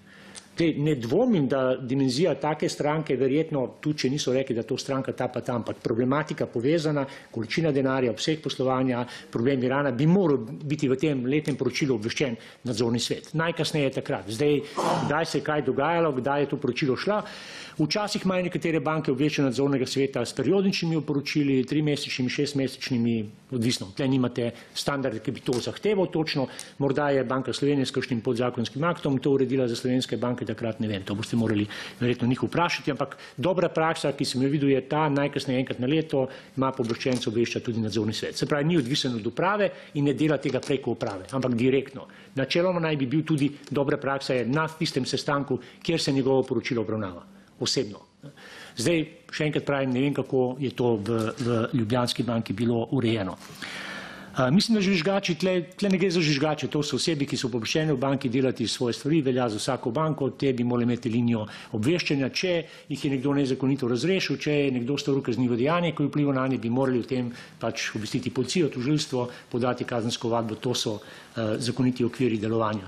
Zdaj, da bi rekel, da bo nekdo, ki je pooblaščenec, pa potem se mu je nekaj zgodilo iz upravičenih, nepravičenih razlogov, da bo šel pa zdaj, uh, bom rekel, tajno obveščati nekoga, Lahko se zgodi, ne, za državne organe pomembno, da dobi informacijo o kaznjivih dejanjih, zdaj je dobil anonimno ali, ali kako drugače, gledam z vidika države, to pravzaprav vseeno in se strinjam, ne, da seveda, če neko, ne, ne, življenje nekoga ogroženo ali njegovo finance in tako naprej, da je to zadnja linija, ki bi jo Eh, osebe, ki so v sistemu bile dolžne nekaj storiti, eh, morali uporabiti. To je res zadnja linija v tem kontekstu govorim, poblaščencev ali pa nekoga znotraj banke, ki ni imel možnosti znotraj banke obvestiti, da je nekaj narobe v bankah in bi potem uporabil to linijo, ne vem, prijave direktno policiji, tužilstva izven sistema zakona o preprečevanju pranja denarja in tega, ne, ampak ne, po KZ-ju, po ZKP-ju.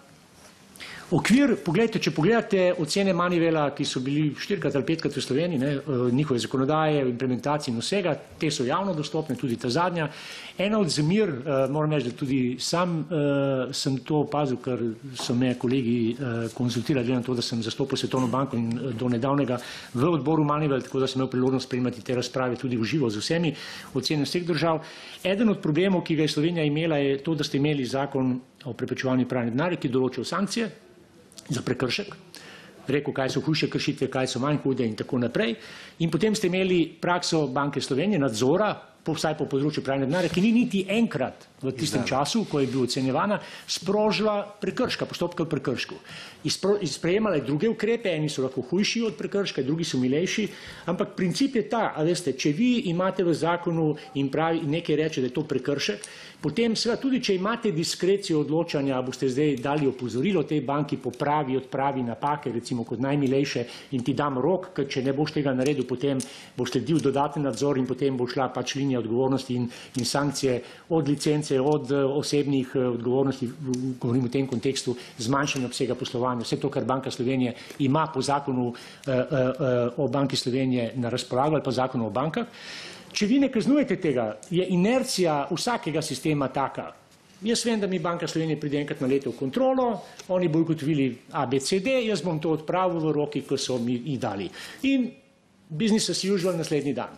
Torej, ker niste nobenega kaznovali, do te odgovornosti osebne in tudi denarne in za banko, ki je pravna oseba, ki bi morala biti kaznovana, in za fizično osebo ne pride. In seveda inercija sistema, da deluje sistem, prav, ne, se naslednjič bojo prišli še enkrat, bojo rekli, to ne velja, bo imel še enkrat to odpravo, kar je isto ali pa druge stvari.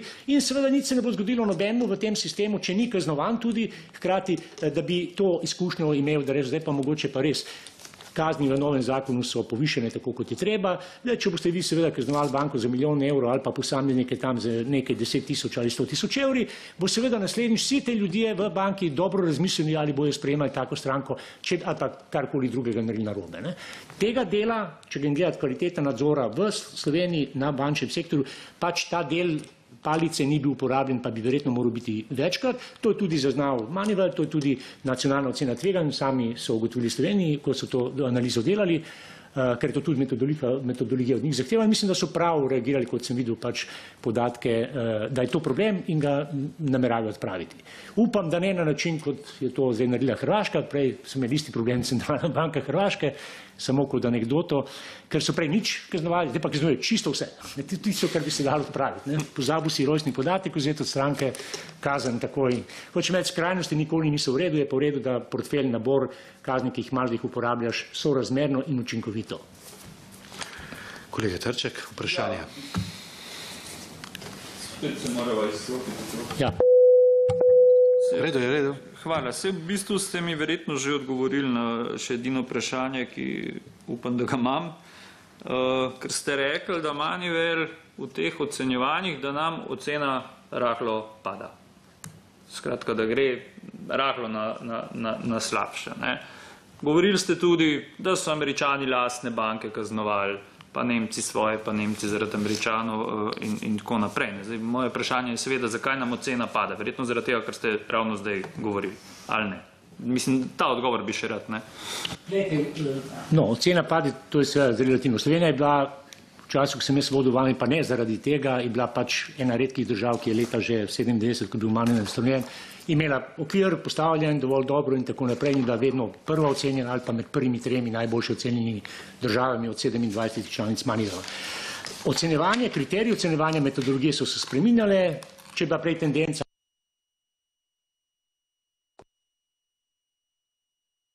najkasneje, lahko rečemo 2012, pa zanesljivo na implementacijo. Torej ni več važno, kaj imaš v zakonu, ampak je važno, kako ti to implementiraš. Se pravi, predpostavlja se, da imaš rešitve v zakonodajnem okviru že rešene, skratka, kako jih implementiraš in kako učinkovito deluješ. In to velja za privatni sektor, to velja za zavezance in vse državni sektor, ki sodeluje v tej verigi. Od policije, tožilstva, sodišča, urada, nadzornih služb oziroma nadzornikov za področje pranja denarja, če povem na kratko.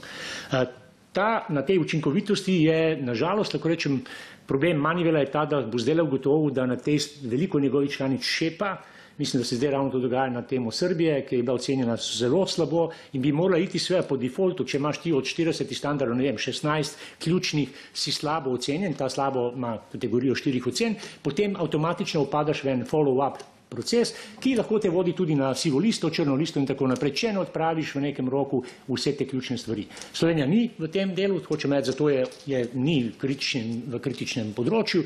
Nekatere države tudi dobro razvite, ne vem, se jim pa to lahko zelo hitro zgodi, ker je Manivel zelo strok pri svojih ocenah. Ne pozabiti pa ene stvari, da Manivel, seveda, to je primer recimo Cipra, kot veste, ocene Manivel za Cipra so vedno dobre. Ne? Zato, ker Manivel v 14 dnevih, kot to dela zdaj, ne gre v banko in gleda, a ima banka stranko iz Irana ali ne. Pogleda medije, pogleda to, po, zasliši osebe, tudi bančni sektor, ampak ne gre v inšpekcijski nadzor tega. In seveda, kar se je v Cipru zgodilo, so imeli papirje krasne, odgovore na vprašalnike krasne, državni organi funkcionirajo, v bankah pa so tretirali stranke, zlasti ruske, približno tako kot mi iranske. Ne? Vsi riziki so spremljivi, niso se ukvarjali s tem, dokler se jim ni sesul sistem. Ne? Ko se jim pa sistem sesul, zdaj pa seveda, zdaj pa imate tujce, ki prihajajo, ki jim sodijo pamet, pogojujejo delovanje države in tako naprej. To vse tisto, kar bi se lahko tudi na vse zadnje Sloveniji zgodilo, če bi nekdo zaznal to problematiko takrat in reagiral, govorim zdaj o mednarodni skupnosti, zlasti zaradi resolucij Združenih narodov. Seveda tega v oceni Manivel ni zaznal, mislim, da je bil da je ta zadeva tudi v tej zadnji, ne vem, ni bila še v medijih ali kaj, ker zanesljivo, če bi bila ta afera znana v času obiska Manivela, bi bilo kar nekaj vprašanj Manivela z tega področja in bi verjetno tudi oni dali nek odraz, koliko kvalitetno deluje nadzor, to isto, zaradi česa ste to koliko kvalitetno delujejo državni organi, de facto, de, res na tem področju. Ne? Torej implementacija zakona, zakon je tam, ne? je bil tam. Uh, še zadnje vprašanje in uh, potem gremo k sklepnemu delu. Um, dajte mi odgovoriti na vprašanje, recimo, uh, vemo, kaj so neposredni pritiski na re, uh, neregulatorja, pooblaščenca, recimo znotraj banke, recimo strani uprave, šefov, nadzorstva in kogarkoli. Pa vendar, ali je za vas, če nekdo reče, da dobi nekdo klic telefonski od teh pooblaščencov in reče od nadrejenih, gre za pomembno stranko, lahko to bi, če bi vi upravljal takšno delo, pomeni to neke vrste oblike pritiska? Glejte, poslovna in korporativna kultura v vsaki banki pač začne od vodstva na vzdolj. Kaj vi z sporočilom, ki ga date, kdorkoli v tej vodstveni strukturi poveste, je seveda stvar poslovne kulture v tej banki. Za nekoga bi to bilo lahko zelo jasno, mi je bilo dano vedeti, da s to stranko moram poslovati in pozabiti pranje denarja. Lahko pa pomeni samo to, da bom naj, naj, najmanj, kar je, imate določene odbore v bankah, ki se odločajo v takih, ki se ukvarjajo z uh, upravljanjem stregani. Vsaka banka ima en odbor, za, ki se ukvarja z upravljanjem stregani. Najmanj, kar je pooblaščenec, revizori in eh, poslovni del banke morajo na tem odboru, preden pride do uprave, lahko razpravljajo o tem, ali delovati s to stranko ali ne. To sem prej pozabil omeniti, zdaj ne vem, ali Ljubljanska banka tudi za to področje imela, ampak definitivno odbor za upravljanje tveganja v vsakih bankah obstaja in to je pravi forum, tudi kjer vi lahko te dileme, če nimate jasnih eh, odločitev strani vodstva, vedno bo odločitev pooblaščenca za preprečevanje pranja denarja prevagala ali pa vedno bo poslovna odločitev poslovnega prevagala, potem imate tle kjer se prediskutirajo argumenti se mora na koncu ta odbor odločiti, kaj bo predlagal upravi. Ne, to je, bom rekel, en, en umestni mehanizem, ki bi moral delovati in v dobrih bankah tako, to deluje. Ne. Da nimate avtomatizma, ampak da je vedno se presoja, kaj banka se dobi, tisto, kar smo rekli, cost benefit, kakšne so tveganja in kako bomo z njimi upravljali, če jih že sprememo. Ne. To, to je tisto, kar sem rekel. Tle se ni zgodilo, vsaj to, kar je videti iz javnosti, nič od tega ni bilo spoštovano, ker so ta tveganja niso jih zmanjševali, so jih povečevali eh, in tako naprej. Tako, zato se mi zdi, da ta linija, ki je tle ni delovala, je tista ta prva linija, ki je šlo na robe. Zdaj, kdo vse bi moral od odzuna izvedeti, eh, gospod predsednik, mislim predsedujoči, vem, da ste prej omenil, ne, kaj zdaj tle ni delovalo. Urad ne deluje ex ofo, urad ne deluje na podlagi niti, če bi zdaj prebral v medijih, da je vse narobe za to banko, ni dolžan ravnati, ker uradi so bili narejeni za to, da delujejo na podlagi podatkov iz, od zavezancev do naprej. Ali pa, če policija zaprosi ali tožilstvo točen seznam držav, ima sum pranja denarja, zaprosi urad za podatke, potem urad lahko nastopi v, v tej obratni smeri, kjer zahteva podatke. Tretja linija je nadzornik. Če je nadzornik pri svojem inšpekcijskem pregledu pri zavencu gotovo, da je nekaj narobe in ima to tudi elemente, ne vem, nesporočene sumljivih transakcij, je ta tisti, ki je po mednarodnih standardih in po slovenskih predpisih dolžan obvestiti urad. Urad pa seveda dobiva dnevno gotovinske transakcije, sumljive transakcije, zaprosila tujih uradov in če iz tega vidi, da nekaj ne štima, ne, lahko tudi on seveda ugotovi v svojem ravnanju, da nekaj narobe, ne samo, da je sporočeno ali ne, ampak da je nekdo kršil zakon in zaprosi, ne vem, eh, primarnega nadzornika, v tem primeru centralno banko, da upravi nadzor. Torej nad, nad tem zavezancem. Ad hoc nadzor, ki bo šel mimo tega. To, je, to so poblastila urada. Tako da urad, če znotraj teh kanalov, ki so omejeni, so v zakonu z razlogom dani kot to, ker seveda predolgo bi trebali zdaj razlagal, kakšne so druge možnosti, kaj imajo drugi uradi in tako naprej. Ampak to je dober standard, ne? da imate vi omejen krok, urad je narejen bil za to in upravlja to funkcijo za to. Ker drugače, če jo razširite, potem bo delal vse, potem se bo ukvarjal z davčnimi zatajitvam in bo pozabil, pozabite potem delo v upravljanju denarja in financiranju terorizma. Ne? Uradi so bili stovnjeni za to, da se ukvarjajo z tem. In če je njihov fokus, kar se včasih zgodi, v nekaterih državah delajo vse, delajo sicer dobre stvari za državo, ampak potem več niso to to, za kar so bili stanovljeni. Ja, kolega dr. Trček. Ja, žal moram imeti še pod vprašanje. Glede, če sem to, kar smo se zdaj pogovarjali v uri, pa pol dobro razumel, uh, ekspertni problem ni na strani uh, urada ki ste ga nekoč vi vodili. Ste rekli, ne, bom končal. Jaz ne vem, kaj je urad, kakšne so ga ravnanje, da konkretno. Ne, ne, bremo, da končam. Ne. Je vzpostavljen, deluje. Ne. Zdaj, iz vaše bogate profesionalne prakse, večino, bom rekel, profesionalnega življenja se ukvarjate s tem. Ali je pri nas nek ključen problem, zlasti na sistemskih bankah, ki so pomembne za sveda, vsako državo mora imeti neko sistemsko banko, uh, manjko ekspertize pri ljudeh in strokovnih znanj, ki se morajo ukvarjati s tem, o čem govorite. Ne bom zdaj od nekih konkretnih uh, imenih gor in dol vse to, kaj omenjate. Ne? Zablinkat, uh, kontrol benefiti, uh, analiza tveganj, strategija upravljanja tveganj, na vse zadnje sem to pretešu vid, pa, uh, pa še kje, pa da ne znamo zvezo drugega tira, ampak da ne bom res politično populističen, ne? iz vašega bogatega znanja, iz vaših spremljanj mednarodno, tudi po drugih unih, ali je to osko grlo. Ne?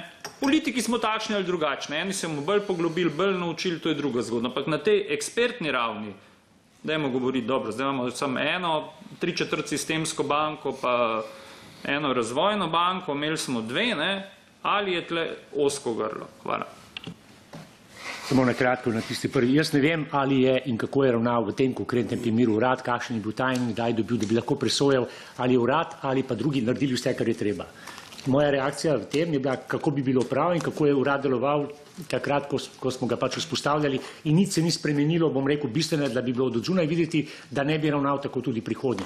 Kako je pa dejansko ravnal, boste morali pa seveda uh, uh, z vašimi postopki ali pa z drugimi postopki, ki, ki kot sem razumel, so že v teku, preveriti vsak papir, ki je prišel, šel, kdo je kaj naredil in tako naprej v tej verigi od urada na zgor. Uh, jaz ne želim dajati tle ocene od odzunaj, ker bi bilo to špekuliranje brez podatkov.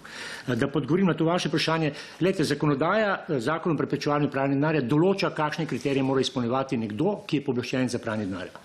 Zakon določa točno, kdo je lahko pooblaščenec v tem smislu, kakšni so kriteriji in da mislim, da je podzakonski akt, ki je izdan na podlagi tega, jasno določa, zdaj, kako ga pa spoštujejo konkretne banke, koga zaposlujejo na ta področja, je seveda stvar te banke, ali je zdaj nekdo izpolnjuje kriterije ali ne in seveda nadzornika, da preverja to pri svojih kontrolah, ali so ti kriteriji spoštovani oziroma so zaposlili nekoga, ki nima pojma, in tako naprej. Zdaj, seveda, kaj se da še narediti, ne, če bi to bilo eno vprašanje, nekatere države, uh, Slovenija tega nikoli ni imela, določajo še celo licenciranje pooblaščencev. Skratka, tako kot imate, ne vem, za revizorja, da poleg tega, da ga zaposlite na mesto, delovno mesto, ne vem, revizora, da mora imeti še zunanjo licenco, da je priznani revizor ali pa licenco, ne vem, centralne banke ali pa uradov nekje, ne, nekje mislim, da so, čeprav to mislim, da ne bi bilo prav, da, da to delajo uradi, da imate nek program, neko šolanje, minimalno skozi katerega mora iti, v katerem se presoja fit and proper za te poblaščence dodatno. Ne. To je recimo tisto, kar Slovenija nima. Mogoče, če bi bil to spoznan kot problem, pogledajte si ocene nacionalnega tveganja, eh, oceno nacionalnega tveganja za bančni sektor, detaljno mislim, da je vlada imela, ker bo sprejemala akcijski načrt na tem temu in če je tam prišlo do problema tega, da je kvaliteta eh, pooblaščencev v sistemu sedaj slovenskih bank slaba ali da ne delujejo prav in to, potem je mogoče to narediti, da dodate nek dodaten pogoj, da morajo tudi oni iti skozi nek hearing, skozi nek fit and proper test in potem dobiti dovoljenje za delovanje in seveda to pomeni potem tudi izpolnjevati pogoje iz tega dovoljenja vse čas delovanja. To je mogoče nekaj, kar bi se dalo razmišljati o tem, kaj še je mogoče narediti, da bi to povečal. Hvala lepa, gospod Klaudijo Stroligo. Zaključili smo za vprašanje in na koncu vas moram še vprašati, čist tehnično, ali uveljavljate kakršne koli potne stroške? Ne. Ne, čisto. Hvala lepa in se vam tudi zahvaljujem za vaše ekspertno pričanje in pa seveda za vse informacije, s katerimi ste oborožili našo preiskovalno komisijo. Hvala lepa. E, istočasno pa s tem seveda tudi zaključujem s to točko dnevnega reda in s tem tudi današnjo sejo komisije. Hvala lepa.